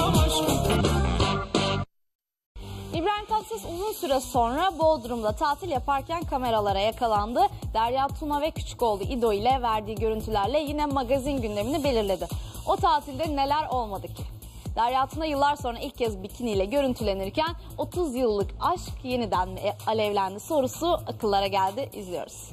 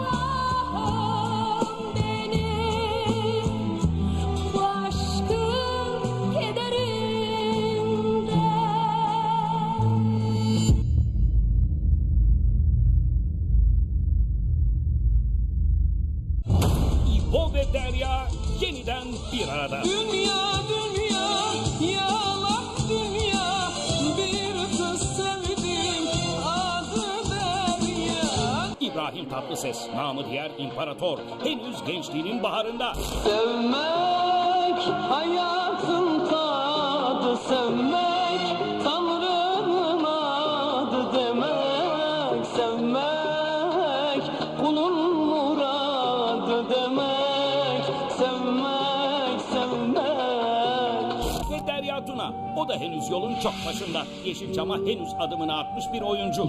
İstanbul'a ilk defa mı geliyorsun? İlk defa geliyorum. Ne kadar da büyükmüş. Ve bu ikilinin yolları işte bu filmde kesişiyor. Ne diyorsun sen Allah aşkına? Ne mi diyorum? Habibi. Ne demek yani Habibi? Habibi, Arapça sevgilim demek. Ya öyle mi? Evet, öyle. Çünkü dünyada en güzel şey sevmektir. Habibi. Evet, İbrahim Tatlıses'in kasetlerinin kapış kapış satıldığı, filmlerinin kapalı gişe oynadığı 80'li yıllarda tanıştığı ve ilk görüşte aşkla bağlandığı Derya Tuna'yla aynı filmdeler. Habibi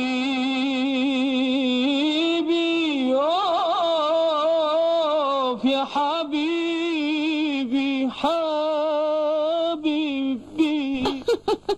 Bu film onların hayatında milat oluyor. Tutkulu, deli dolu, büyük bir aşk başlıyor. Bak Ferhat. Ben sana söyleyemedim. Nasıl nasıl anlatsam. Bak inan ki Hiçbir mazeret istemiyorum tamam mı? İbrahim Tatlıses'in hem bu filme özel hem de Derya Tuna'ya özel yaptığı şarkı o yıllarda dillere marş oluyor. Dünya dünya yalan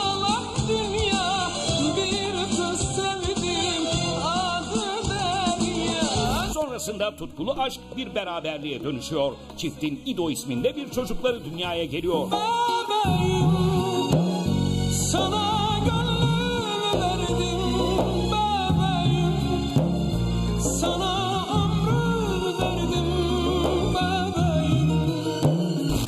tutkuyla başlayan aşk sonrasında fırtınalı günlere bırakıyor yerini. Araya ayrılıklar giriyor, dargınlıklar giriyor ama çift her seferinde yeniden bir araya geliyor. bir kız sevdim adı İbrahim Tatlıses bu süreçte iki evlilik daha yapıyor ama Derya Tuna'yla çocuğunun annesiyle de asla dostluğunu bozmuyor. Birbirlerinin en zor günlerinde hep yan yana oluyorlar. Çok iyi olacak inşallah. Herkesin duasına ihtiyacımız var. Aşkları bitse de dostlukları sürüyor yıllardır Derya Tuna ve İbrahim Tatlıses'in. Ancak geçtiğimiz hafta çok sürpriz bir gelişme oldu. Tam 30 sene önce başladı, 20 sene önce de sona erdi çiftin birlikteliği. Ama geçen hafta Bodrum'da birlikte tatil yaparken yakalandılar Magazin D'ye. Şimdi o güne gidiyor ve ikilinin baş başa çıktıkları Bodrum tatilinden görüntüleri getiriyoruz ekrana. Bodrum'a da gittik beraber İstanbul'da da yaşadık İbrahim Tatlıses Gündoğan'da bir restoranda arkadaşıyla yemekte. Koyu bir sohbet var masada. İmparatorun belli ki eski arkadaşı. Hatıralar yad ediliyor tek tek. Ve ileride bir başka sürpriz görüntü var. Ne mi? Kadının gücünü hafife alma Evet Derya Tuna plajda. Yaz başından bu yana Bodrum'daydı sürekli. Prensesler gibiydim ben baba evinde Özgürlüğüme gölgeyi hakaret sanıyorum Oğlu İdo'nun peşindeydi. Oğlunu sahnede izliyor, alkışlıyor, gurur duyuyordu. Acımı da gömdüm içime Yine seni ektim Muhteşem bir şarkı yaptı. Olay güzel. Ya da boş ver 3 aydır Bodrum'da olan Derya Tuna bir kez bile denize girmemişti. Ya da biz görmemiştik. Ama o gün işte böyle görüntülendi Derya Tuna. Güzelim güzelim hep beraber gülelim Derya Tuna üzerinde son derece iddialı bir bikini taşıyor. Kendisinden de emin hanımefendi. Biz yaz başından beri çekemedik ama belli ki fazlasıyla güneşte kalmış. Bronzlaşmış iyice. Güzelim güzelim hep beraber gülelim Tekrar dönüyoruz İbrahim Tatlıses'e. O koyu sohbetini sürdürüyor masada. İbrahim Tatlıses de burada oturuyor. Şurada. Derya Tuna da kurulanıyor. Güneşe uzanacak belli yeniden. Kumsala uzanıp keyif çatacak. Bu arada masaya porsiyon porsiyon Urfa kebapları geliyor. İbrahim Tatlıses'in Derya Tuna olmadan boğazından geçer mi kebaplar? El kol işaretleriyle sahile sesleniyor, Derya Tuna'yı çağırıyor. Derya abla yemek mi yiyeceğiz. Derya Tuna'nın da belli ki karnı zil çalıyor. Hemen parayosunu giyiyor ve hayat arkadaşının yanına gidiyor. İşte yan yanalar. Kebaplar yeniyor yan yana. Bir ara İbo Derya Tuna'nın omzuna elini atıyor ama çok fazla tutmuyor kolunu burada. Bir kız sevdim adı Derya Koyu sohbet var masada. Biraz daha keşke ekip arkadaşlarımız yanaşsalar yanlarına. Şu ağaç sallanıyor ben de sallanıyorum. Yani şunu ağaçtan çektiğimizi söylesem inanır mısınız? Bak mesafeye bak. Ağacın dalından. Hmm, gerçekten de çok uzak. Neyse bu mesafeyle idare edeceğiz. İbo kebabı yedi ama doymadı. Aşçıyı çağırdı yeni siparişler veriyor. Çiftin masada yemek sonrası romantik dakikaları sürüyor. 30 sene önceki heyecan var mıdır yok mudur bilemiyoruz ama bildiğimiz şu ki 30 sene sonra İbo adına şarkılar yazdığı, filmler çektiği Derya Tuna'sıyla baş başa. Yazın bitmediği şehir Bodrum'da kameralarımıza bakalım geride bıraktığımız günlerde kimler takılmış. Mesela Bekir Aksoy'un ayrıldığı eşi Derya Çavuşoğlu kiminle görüntülendi? Hangi dünyaca ünlü güzel Bodrum'u tercih edenlerdendi? Murat Dalkılıç aldığı ayrılık kararının şokunu atlatabildi mi? Hep birlikte izliyoruz. Hiç dokunma seyredip utansın Ben gibi yok o da farkında Diyor şarkı? Eylül'de gel. Biz zaten oradaydık ama nice tatilci sonbahar geldi deyip evine dönerken biz orada kaldık. Bodrum'un keyfi Eylül'de bir başka. Eylül'de gel Eylül'de gel Bodrum'da yaz bitmiyor, bitmiyor, bitmiyor. Yaz bitmediği gibi mevsim oldu sonbahar. Bodrum en hareketli günlerini yaşıyor.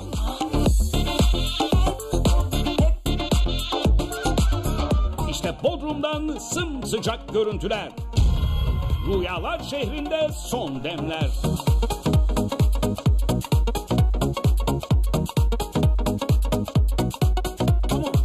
Sunucu ve oyuncu Bekir Aksoy bir hafta önce bu sahilde bir sarışın hanımlaydı. Aynı sahilde bu kez Bekir Aksoy'la olaylı bir şekilde ayrılan eski eşi Derya Çavuşoğlu var. Bekir Aksoy'un eski eşi.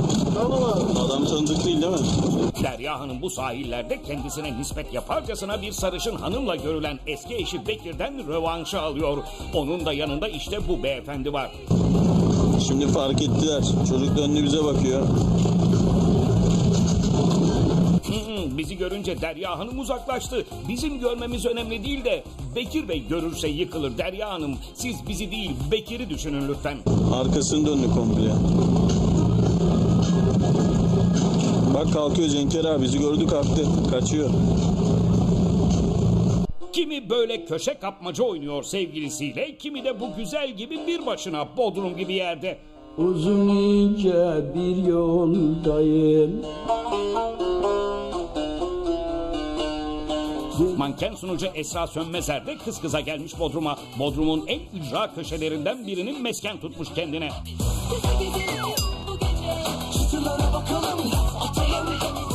Uzanacak, güneşlenecek derken koşarak bir yere gidiyor kız. Nereye kız?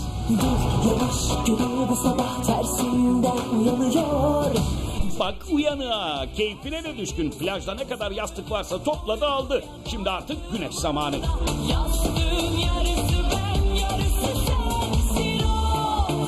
Güneşlenmek güzel, Eylül güneşi güzel ama ah be Esra, ah be Esra kaç yaşındasın? Bu yaşta bu kadar kilo senin gibi manken bir kıza çok fazla. Yine midem kazındı geldi ızgara karışık Hmm, dünya ünlü güzellerden biri daha gelmiş Bodrum'a. İngiliz top model Kelly Brook da Adriana Lima'dan duymuş buraların Mekin'i ve Bodrum'a gelmiş. Çocuk tutma acaba?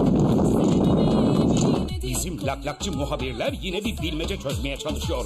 Kim yanındaki falan diye. Siz her gördüğünüz yabancı mankenin yanındakini bir Metin Hara mı sanıyorsunuz ya? O çocuk İngiliz İngiliz. İngiliz gazeteleri bu görüntüleri alıp manşet yaparsa yarın öbür gün şaşırmayın. Brook Türkiye'de AHA'da bu vücut geliştirme şampiyonu erkek güzeli aşkıyla romantik dakikalar yaşadı. Söz İngiliz meslektaşlarımıza bu görüntü bedava gidecek. Sevgilisi de bizi çekiyor. Cenker abi çek çek çek. Hadi biraz eğlence.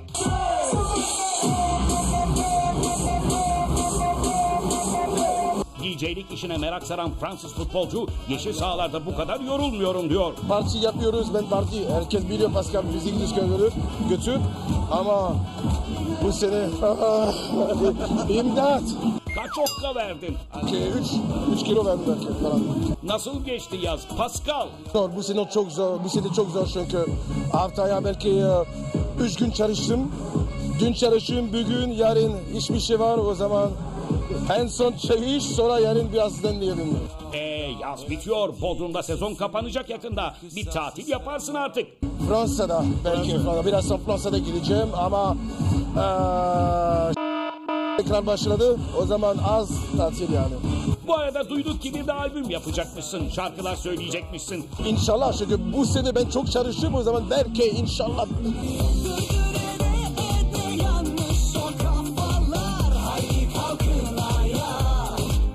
Peki sustuk ve devam ediyoruz Bodrum turumuza. İşte bir güzel var orada.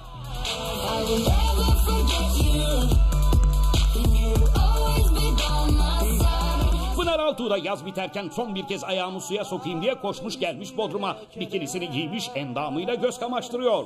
Endamın yeter. Bodrum bu hafta dedik ya çok hareketli. Bakın kim var suyun içinde. Seni gören kalpten tak atıyor. Son olarak Bodrum'a geldiğinde Roman sevgilisi Otilla'nın kalbini işte bu sarışın güzelle kırmıştı Sinan Akçıl. Tabii tabii kim ölüyor belli. Manken Cansu Taşkın'la böyle görüntülenince terk edildi Roman aşkı tarafından Sinan. olmayan suçlar gibi terk edildim, terk edildim. Sen misin Otilla'ya bunu yapan? Bak kaldı tek başına Sinan. Yalnız adam tek başına. Bu arada ilginç bir pişti var orada. Sinan Akçıl'ın bir dönem fırtınalı aşk yaşadığı bir isim vardı malum.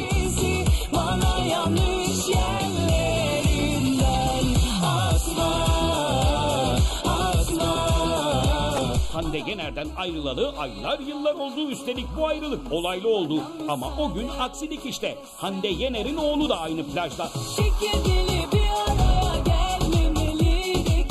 Akçıl da bunun farkında. Eski aşkının oğluyla karşılaşır bir tatsızlık olur diye sudan çıksam mı çıkmasam mı kararsızlığını yaşıyor. Hande ile Sinan ayrıldıklarından biri konuşmuyorlar. Sonunda bütün cesaretini topluyor ve sudan çıkıyor delikanlı. Neyse ki Hande'nin oğlu görmedi göz göze gelmediler. Tedbiri evden bırakmayan Sinan Hande'nin oğlunun aksi istikametine gidiyor.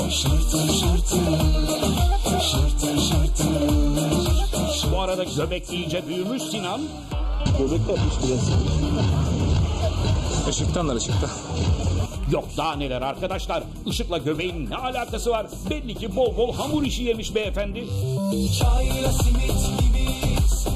Göbeğinin o da farkında. İçine çeke çeke bir hal oluyor delikanlı. Nefes alamıyor.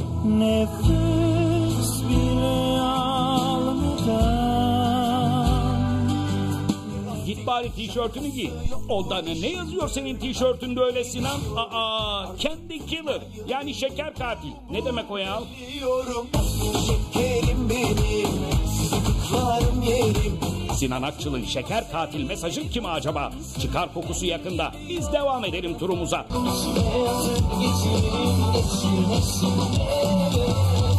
Oo Murat Beyler de buradalarmış.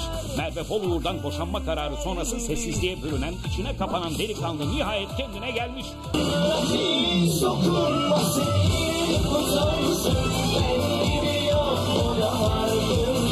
Sahnede şarkılarını söylerken hiç de yeni ayrılmış gibi değil. Güle oynayan performans sergiliyor yakışıklı popçu.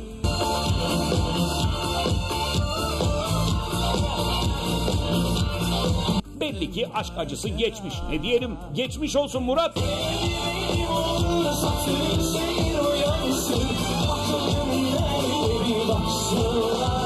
Ve biraz da Bodrum geceleri. Hmm, Yıldız Tilbe'de bayram şerefine Bodrum'da. Ama nerede o eski Yıldız'ın bu dansları? Ben senin var ya Nerede bu dans etmeyip sallanan halleri? Bu arada kıyafeti de pek hoş. Beyaz yakışmış Yıldız'a. Gerçi dans etmiyor ya. Neyse şarkı söylesin o bize yeter.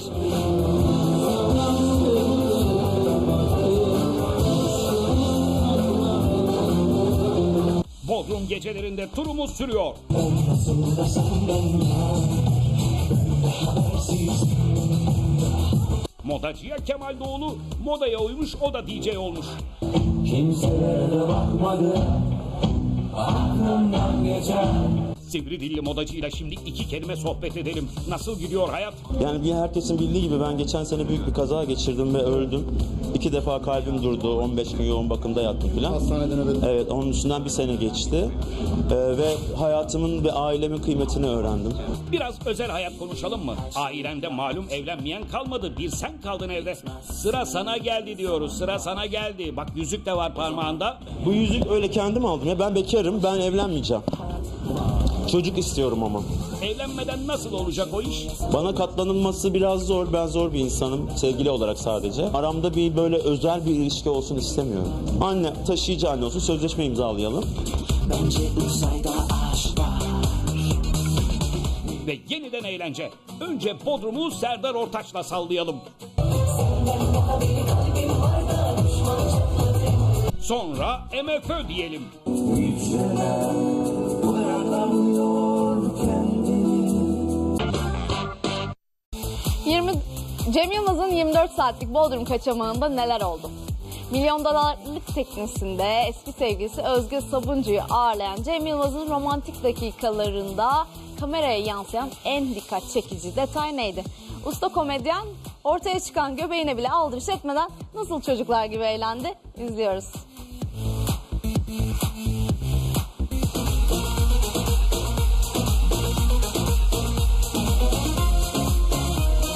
Bu yaz bir sen yoktun Bodrum'da Cem sen de hoş geldin. Hoş geldin ya yüreğime. Evet, Türkiye'nin en komik adamı Bodrum'a gelirse neler olur neler. Benim ne işim var Bodrum'da? Türkiye'nin en komik adamı Bodrum'a sevgilisiyle gelirse neler olur peki? Gidip aç, aç çabuk.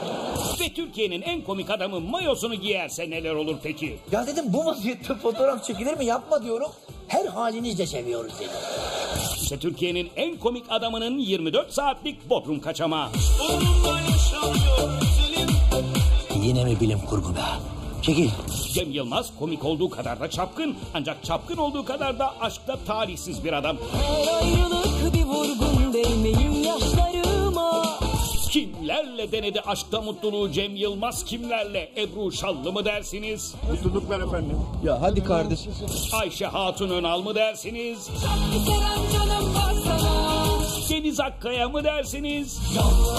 Manken Duygu Bal mı dersiniz? Avustralyalı Melina mı dersiniz? Da Daha eskilere gitmiyoruz çünkü süre dar eskilerde çok isim var. Benden selam söyleyin bütün aşklarıma Bir kez evlendi çocuğu oldu tam bu şarkıyı yakıştırıyorduk ki kendisine. Evli mutlu çocuklu Ama olmadı. Evliliği de kısa sürdü. Bir ayrılık şarkısı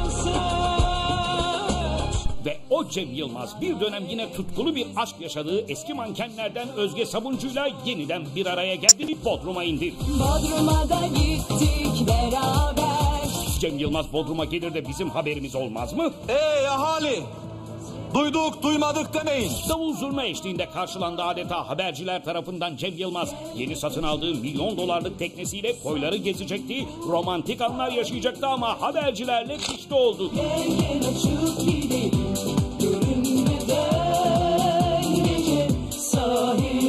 İşte Cem Yılmaz'ın 24 saatlik Bodrum macerası. Yalıkavak'ta evlerindeki bir halk plajında Cem Yılmaz ve Özge Sabuncu. Yanına yanına al beni yanına Yakışırız ama çok çok Cem Yılmaz'ın bölgede dev bir malikanesi var. Biz diyelim 2 milyon dolar, siz deyin 3 milyon dolar. Ama koca yaz o ev boş kaldı. Yatak boş o da boş ev boş Cem Yılmaz'ın evinin koca bir yaz boş kalmasının derdi bizim laklakçı muhabirlere düştü. 3 aydır film çekiminde olduğu için tüm yaz Bodrum'daki evine tatile gelemedi. Evi boştu. Bayram tatilinin son gününe yetişti. Eski sevgilisi Özge Sabuncu ile barışmıştı. Bu arada Cem Yılmaz her zaman olduğu gibi yine tepeden tırnağa simsiyah. Bir tek pembe şapkası var tepesinde. O da ben buradayım diye bağırıyor adeta. Tabii Cem'in aynalı uzaylı gözlüklerini de unutmayalım. Nasıl? Yakıştı. Ha? Yakıştı. Var. Yılan değil mi? Aldık. Abim ödeyecek. Gel baba. Dakikalarca sahilde oturuyor Cem Yılmaz ve aşkı. Dikkat çekense ikisinin de hiç konuşmaması. Halbuki Cem komik çocuk. Bir komiklik yapsa da güldürse ya şu kızı. Gece 12'den birden sonra erkeklerin çektiği mesajlar vardır. Biraz özledim. Uyudun mu? Otur otur nereye kadar çocuklar? Hadi gidin biraz denize girin. Tekneniz emrinizde sizi bekliyor. Gezin. Gel kaçıp gidelim Cem Yılmaz'ın elindeki o devasa çanta da neyin nesi çanta değil bavul resmen. Ege'ye açılmayacaklar sanki Amerika'ya gidecekler. Denize bıraksam kendimi Bot çok hızlı Cem başımız döndü. Bir espri yapsana. Adam belgesel çekiyor oğlum. Bu tarz ünlüler nemli bölgeleri sever ve... Ya abicim ne yapıyorsun diyorum. Seviyoruz diyor. Cem Yılmaz'ın bir ay önce son olarak İstanbul'da görüntülediğimiz milyon dolarlık teknesine ulaşıyorlar nihayet. Para para para vardı bir dert yoktu yara Cem Yılmaz teknesini keşfederken hanımefendi koltuklara uzanıyor. Yalnız kız çok ciddi, hiç yüzü gülmüyor. Yahu Cem bir komiklik yap, güldür şu kızı. Ne yapacaktım sana bir şpagat, bir takla. Hmm, nihayet hanımefendi gülümsedi. Bu ciddiyet nedir hayırdır? Bu arada Cem Yılmaz sağdan soldan havadan karadan ve de denizden kendini görüntüleyen habercileri gördü. Ya dedim bu vaziyette fotoğraf çekilir mi yapma diyorum. Her halinizle seviyoruz seni. İstifini bozmadı. Kız arkadaşı Özge'nin yanına uzandı. Meyve suyu içiyorlar. Hanımefendi çikolata yiyor bol bol. Sallaya sallaya oynaya oynaya allaya arada Cem Yılmaz habercileri gördü ya o da onları görüntülüyor. Çekiyor. Bizi çekiyor. Selam verin. Abi saygılar. Saçınızı başınızı düzeltin çocuklar. Cem ağabeyiniz sizi çekiyor. Rezil olduk hala size söyleyeyim. Allah'tan oradan bizi görmez. Şeyden bakıyorum. Oğlum onu geçtim bir de bunun te- telefonu da iyidir ha. Sürüneyim istiyordun değil mi? Gevezelik yok. Susun ve poz verin. Keşke göbeğimi möbeğimi çekseydin biraz ya. Söyleyelim bir daha çeksin. Bizim çocukların esprileri çok zayıf Cem. Sen güldürsene bizi. Ne vereyim abime? Bu arada hanımefendinin canı sıkıldı yatmaktan. Teknenin önüne gidiyor. Titanik mi yapacak yoksa? Ve ne oluyorsa tam bu sırada oluyor. Cem Yılmaz'ın keyfi kaçıyor.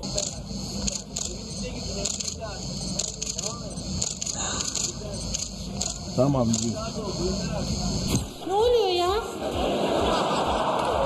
Belli ki daraldı Cem Yılmaz görüntü vere vere. Yok gidiyoruz hadi. Hadi hadi. Kim? Ben. Come on. Bizim evimiz senin yanın ama sevgili Cem. Neyse yer değiştirelim. Biraz da kuş bakışı izleyelim bu romantik anları. Evet bizi arıyor. Buradayız burada. Yukarı bak. Maalesef gelemezsin. 12 yönünde yukarı bak. Hmm, Cem Yılmaz teknenin ucuna geçti. Tişörtünü çıkardı. Biraz göbek mi var sende Cem? Ay tombulum tombulum yoldan geldim yorgunum Biraz değil. Baya baya var ya neyse. Yakışıyor. Türk balkonu derler ona. Hadi bir atla suya. Evet yarışmacımız Yaşar yürüyor.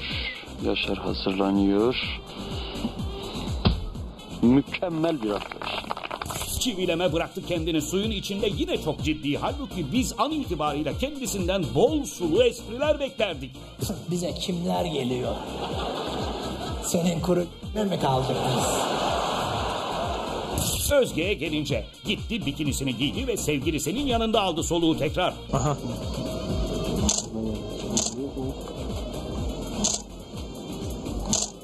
Teknenin görevlileri iki yelek getirdi çifte. Ne işe yarıyor o yelekler yoksa yüzme bilmiyor mu gençler? Cem Yılmaz dar yeleği güç bela giydi. E, göbek var tabii. Girdi denize. Bu yelekler ne işe yarayacak diye düşünürken suya iki mini jet ski vari alet geldi. İlk kez görüyoruz biz de bunu. Ne ki bu? Şimdi yüzecek. Cem kaybeder. Var ya. Yüzmeye üşenenler için icat edilmiş bir alet olmalı. Yunuslara sarılır gibi sarıldılar ve mini jet ski ile suyun içinde çocuklar gibi şen gençler.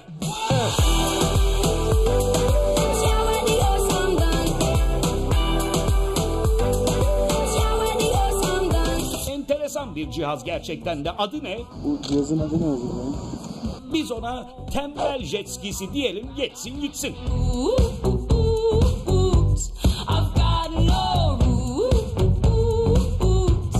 Uzun süre suda kalan çift az sonra tekrar tekneye çıkıyor.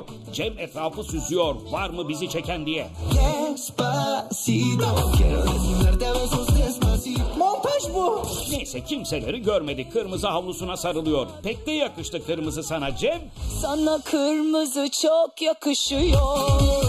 Aynı günün devamı Cem Yılmaz ve sevgilisinin tekne keyfinden sonra sırada gece keyfi var. Direkt sorayım modunuzda mısınız? Nasıl? Bir dakika Cem Bey bir dakika iki kelime edelim mi? Modunuzda mısınız? Konuşmak ister misiniz? Yoksa siz çok fazla... Ben yok konuşmuyorum ki genelde. Çok teşekkür ederim. bitti belki yeni. Çok sağ ol. Bir iki gün tatil yapacağım. Sağ olun. Hmm, saygı duyarız. Buyurun devam edin siz. Önden buyurun. Gümüşlük sahilinde sevgilisi önde Cem arkada yürüyor çift. Ara sıra Cem arkasını dönüp dönüp bakıyor çeken var mı diye. Yanlarında gazeteci Ayşe Öz Yılmazel de var. Onun da bir ara adı Cem'le anılmıştı ama şimdi arkadaşlar. Hatta Ayşe Öz Yılmazel Cem'in gönüllü basın danışmanlığını mı yapıyor ne? Gazetenin işinin işini gazetecisi engellemeye çalışıyor. Ayşe Özülmazel. Çok ilginç. Ayşe Hanım gazeteci ama gazetecilerin görüntü almasını istemiyor. Bu da enteresan. Yürüyorlardı. Hadi babana. Romantik bir kulüpte çift.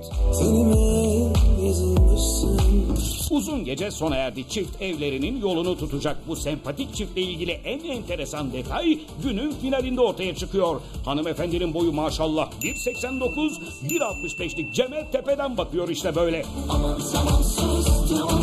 Ben. Bir taksi çevireyim şuradan. Bakalım. Bayramın en ucuz starı kim oldu? Peki ya en pahalısı merak ediyor musunuz? Şimdi en çok kim güldü, en çok kim ağladı, en zevkli ünlü kimdi, en havalı star hangisiydi? Haftanın en dikkat çeken detaylarında magazinde ekibi sizler için hazırladı. İzliyoruz. Sen olsan bari, sen olsan bari. Haftanın en fanatiği kim? Kim şakacı, çikolatacı, sivrisinek avcısı kim? Arılarla en çok başı dertte olan kim? Hayaller aleminden bu aleme dönemeyen kim? Kendini dönek ilan eden kim? Kimdi, kimdi, kimdi söyle. Kimi gölge adam oldu, kimi rahatsız adam, kimi roman oynadı, kimi fazla acımasızdı, kimi paçoz ilan etti kendini, kimi gaddar. Kimdi bunlar, kimdi bunlar, kimdi bunlar, kimdi? İşte haftanın enleri. Seyirciler hazır mıyız? Haftanın en fanatiği. Siyah, beyaz, şampiyon, şampiyon Beşiktaş. Başında vuruş kaleye Sunucu Serap Ezgül giydiği siyah beyaz mayosuyla var mı benden daha koyu Beşiktaşlı mesajı verdi. Haftanın en fanatik ismi oldu. Beşiktaş seninle ölmeye geldik Beşiktaş. Beşiktaş'la ölmeye değil ama denize girmeye gelmişti. Geldi denize girdi. Hem tribündeki Beşiktaşlıları hem sahildekileri heyecanlandırdı mayolu halleriyle. Beşiktaş seninle ölmeye geldik Beşiktaş. Haftanın sivrisinek avcısı. Huya!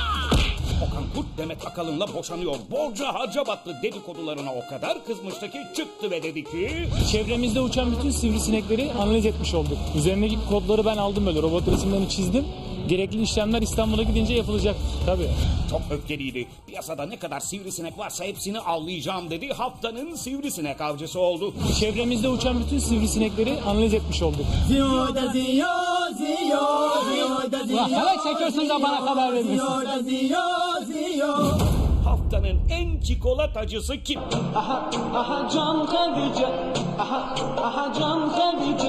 Türkücü Hatice, Mustafa Erdoğan'ın kendisine olan mesajlarını açıklarken bana mesaj atıp balık yiyelim diyeceğine çikolata verseydi ikna ederdi dedi. Ne vereyim abime? Çikolata yerken kandırabilirsiniz bir kadını mesela. Beni kandırabilirsiniz. Ne vereceksin bana? Bu itirafıyla Türkücü Hatice haftanın en çikolatacı kızı oldu. Çikolata yerken kandırabilirsiniz bir kadını mesela. Beni kandırabilirsiniz. Aha, aha can Hatice. Dedeye sahip çıkarım. Haftanın en ters kızı. Dön desem tersine dünya döner mi? Bizim bildiğimiz palet ayağa takılır ama bu kızın eli ayağı karışmış birbirine. Denize ayağında paletle değil elinde paletle girip şaşırttı. Niye yanacağıma şaşırıp kalmışım Sunucu oyuncu Yeliz Yeşilmen elini ayağını karıştırıp ayağına takacağı paletleri eline takınca haftanın en ters kızı oldu. Dön desem tersine dünya döner mi? Allah Allah. En dönek. O sen olsan bari, Aleyna bu itirafı yapmamalıydın. Ben aslında döneyim ya. Hangi takımı tutuyorsunuz diye soranlara Aleyna ben ayda bir takım değiştiririm demez mi? Çünkü hep dönüyorum. Şimdi bir şey söylersem sonra bir ay sonra başka bir takım söyleyeceğim. Diyecekler ki Aleyna dönekmiş. Sonra da eklemez mi? Ben aslında döneyim ya.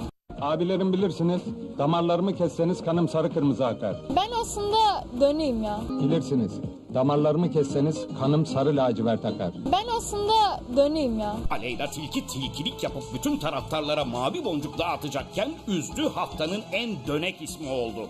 Ben aslında döneyim ya. Döndüm, döndüm durdum, döndüm, döndüm durdum. Ben sana döndüm durdum. Neresinden dönersen dön, dönek derler Abdüley. Gölge Adam. Bir zamanlar dizisi vardı. Basketbolu sevdirmişti Beyaz Gölge dizisi. Oradaki koç Reeves gibi gölge adam oldu Gonca Vustateri'nin eşi Gölge Edip. Ne oldu ya? Nereden buldunuz bu kadar bizi bu kalabalık? Eşinin hep bir metre arkasında gölgesi gibi takip ediyor. Bugün benden bir şey çıkmaz ki. Yanına yanaşmıyor, söze girmiyor. Ben gölge edibim diyor ve haftanın en gölge ismi oluyor. Işığından ne hayır gördük ki etmesin üstüme gölge, gölge, gölge. En acımasız. Kırık kalpler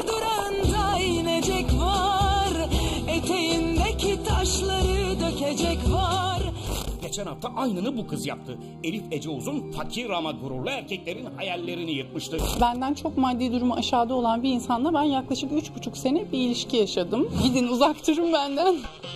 Bu yılda evde kaldım ben.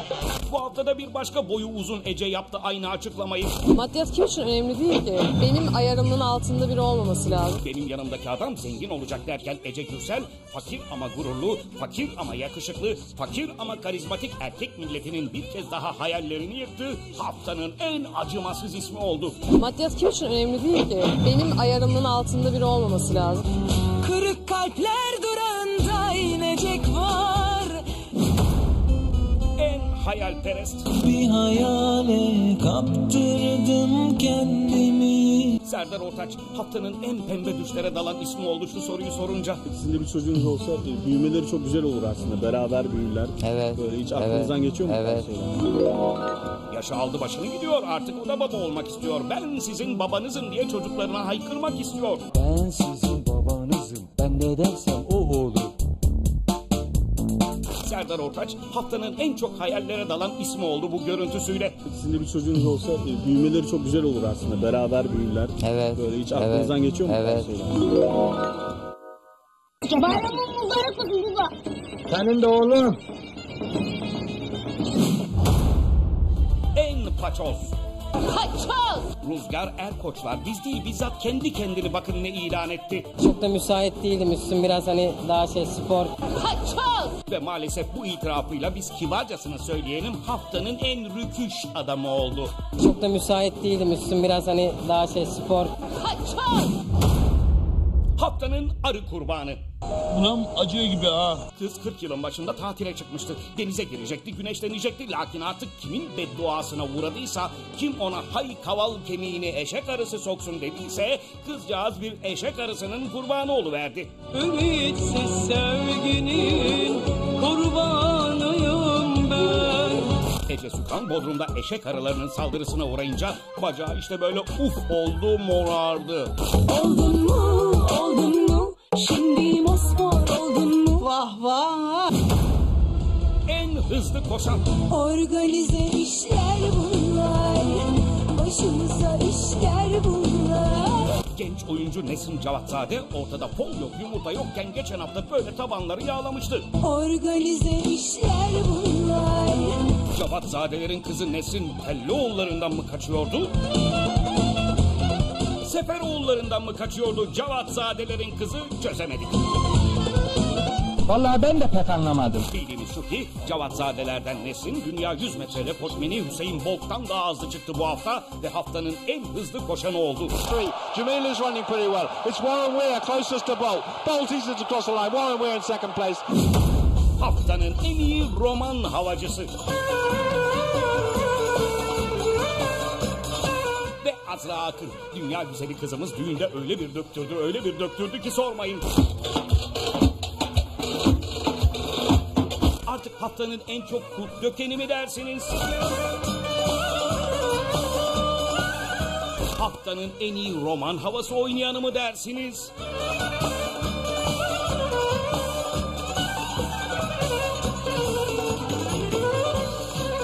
Yoksa haftanın en kanı kaynayanı mı dersiniz bilemiyoruz. Bildiğimiz şu ki Azra Akın'ın bu görüntüsü haftanın en özel görüntüsü.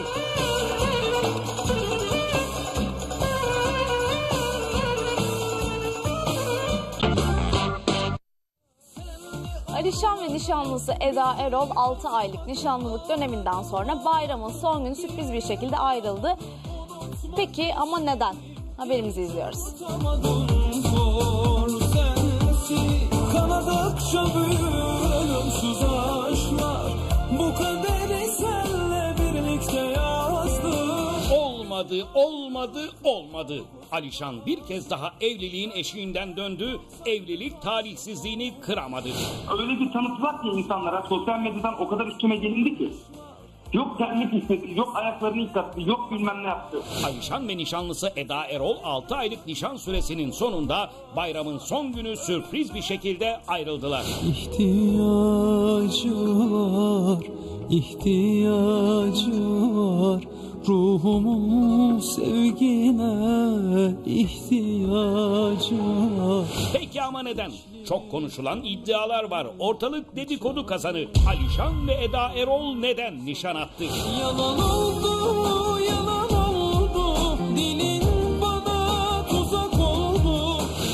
Namus şeref yani. Volkan gibi patladı, kimleri suçladı? Düğün öncesi ortaya atılan maddi konular mı büyük aşkı bitirdi? Neden? Ekonomik mi? Alişan'ın yaptığı eşim yeri geldiğinde terlikleri ayağıma getirecek sözleri mi filmi koparttı? Biz birlikteyken de birçok haberlerde yazıldı, çizildi. Saçma sapan. Maçoluk iddiaları ve bozulan nişan sonrası Alişan'ın Eda Erol'dan nişan süresince takılan takıları geri istediler iddiaları ortalığı nasıl karıştırdı? Birisi çıktı, saçma sapan iddialar ortaya attı. Hiç üzerine vazife olmayan şeylerden bahsetti. Takı meselesi kriz mi oldu? Daha pek çok soru var yanıt bekleyen ve şimdi bu büyük aşkın öncesini, gelişimini, nişana giden adımlarını, nişan sonrasını kısacası A'dan Z'ye hikayesini izliyoruz. Bizimkisi bir aşk hikayesi Siyah beyaz benim gibi biraz Siyah beyaz değil, çok renkliydi onların aşkı. Aslında siyah beyaz bir tarafı vardı elbette. Beşiktaş Başkanı Fikret Orman tanıştırmıştı onları. Hatta Fikret Orman canlı yayında Süper Magazin'e bağlanarak o anları anlatmıştı. Bir arkadaşımızın çocuğunun doğum günüydü. Orada yine beraberdik, oturuyoruz. Alişan ne zaman evleneceksin? Arıyorum. O sırada yanımda Esra vardı. Ee, çok can dostumuz. Esra dedim ki Esra dedim buna birisini bulsana dedim. Ciddi mi dedi? Tabii ciddi dedim. Yani vesile olalım iyi bir şeydir dedi.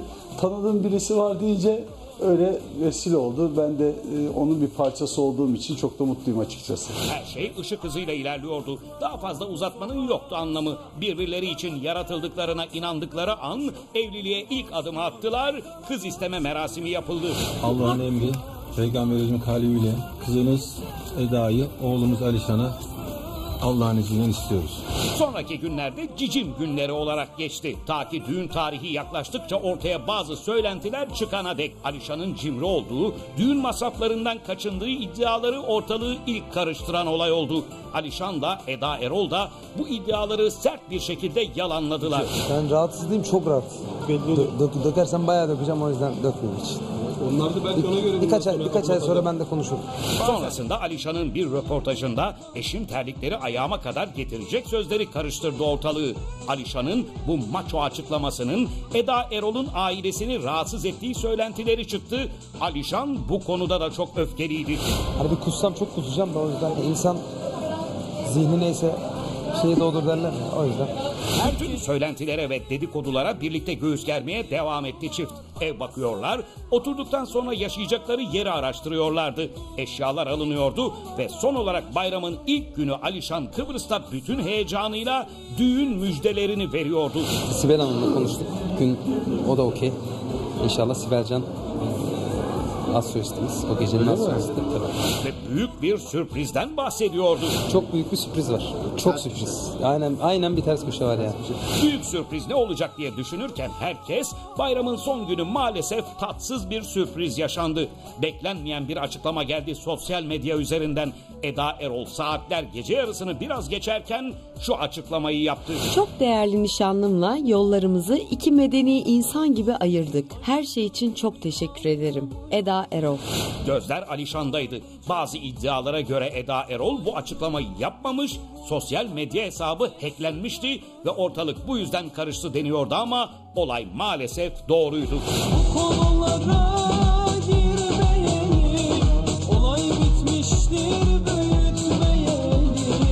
İddialara göre Eda Erol'un bir eski erkek arkadaşı yüzünden nişanın bozulduğu söyleniyordu. Ve iddialar sonrası Alişan daha fazla dayanamadı ve katıldığı bir televizyon programında volkan gibi patladı. Alişan'ın büyük isyanı. Biz birlikteyken de birçok haberler yazıldı, çizildi. Saçma sapan. Biz birlikteydik, çok mutluyduk. Sonra biz bir takım sorunlar yaşadık. Bu sorunlar aşımızdan düşündük ve ayrıldık. Aramıza kimse girmedi. Hepsi yalan. Birisi çıktı, saçma sapan iddialar ortaya attı. Ve bu adamı kale alıp bu adamı haber yapıldı. Namus şeref meselesi.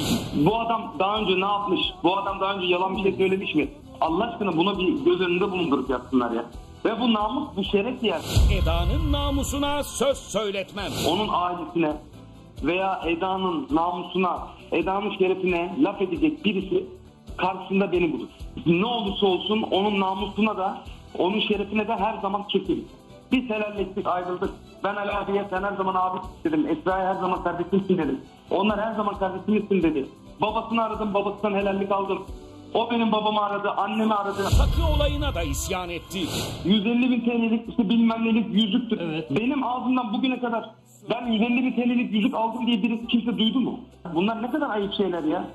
Yüzüğü geri istedi, yok yüzüğü vermediler, yok yüzüğü verdiler, yok şunu yaptılar, yok bunu yaptılar. Ya ayıp ya. Beni özellikle maço göster. İkimize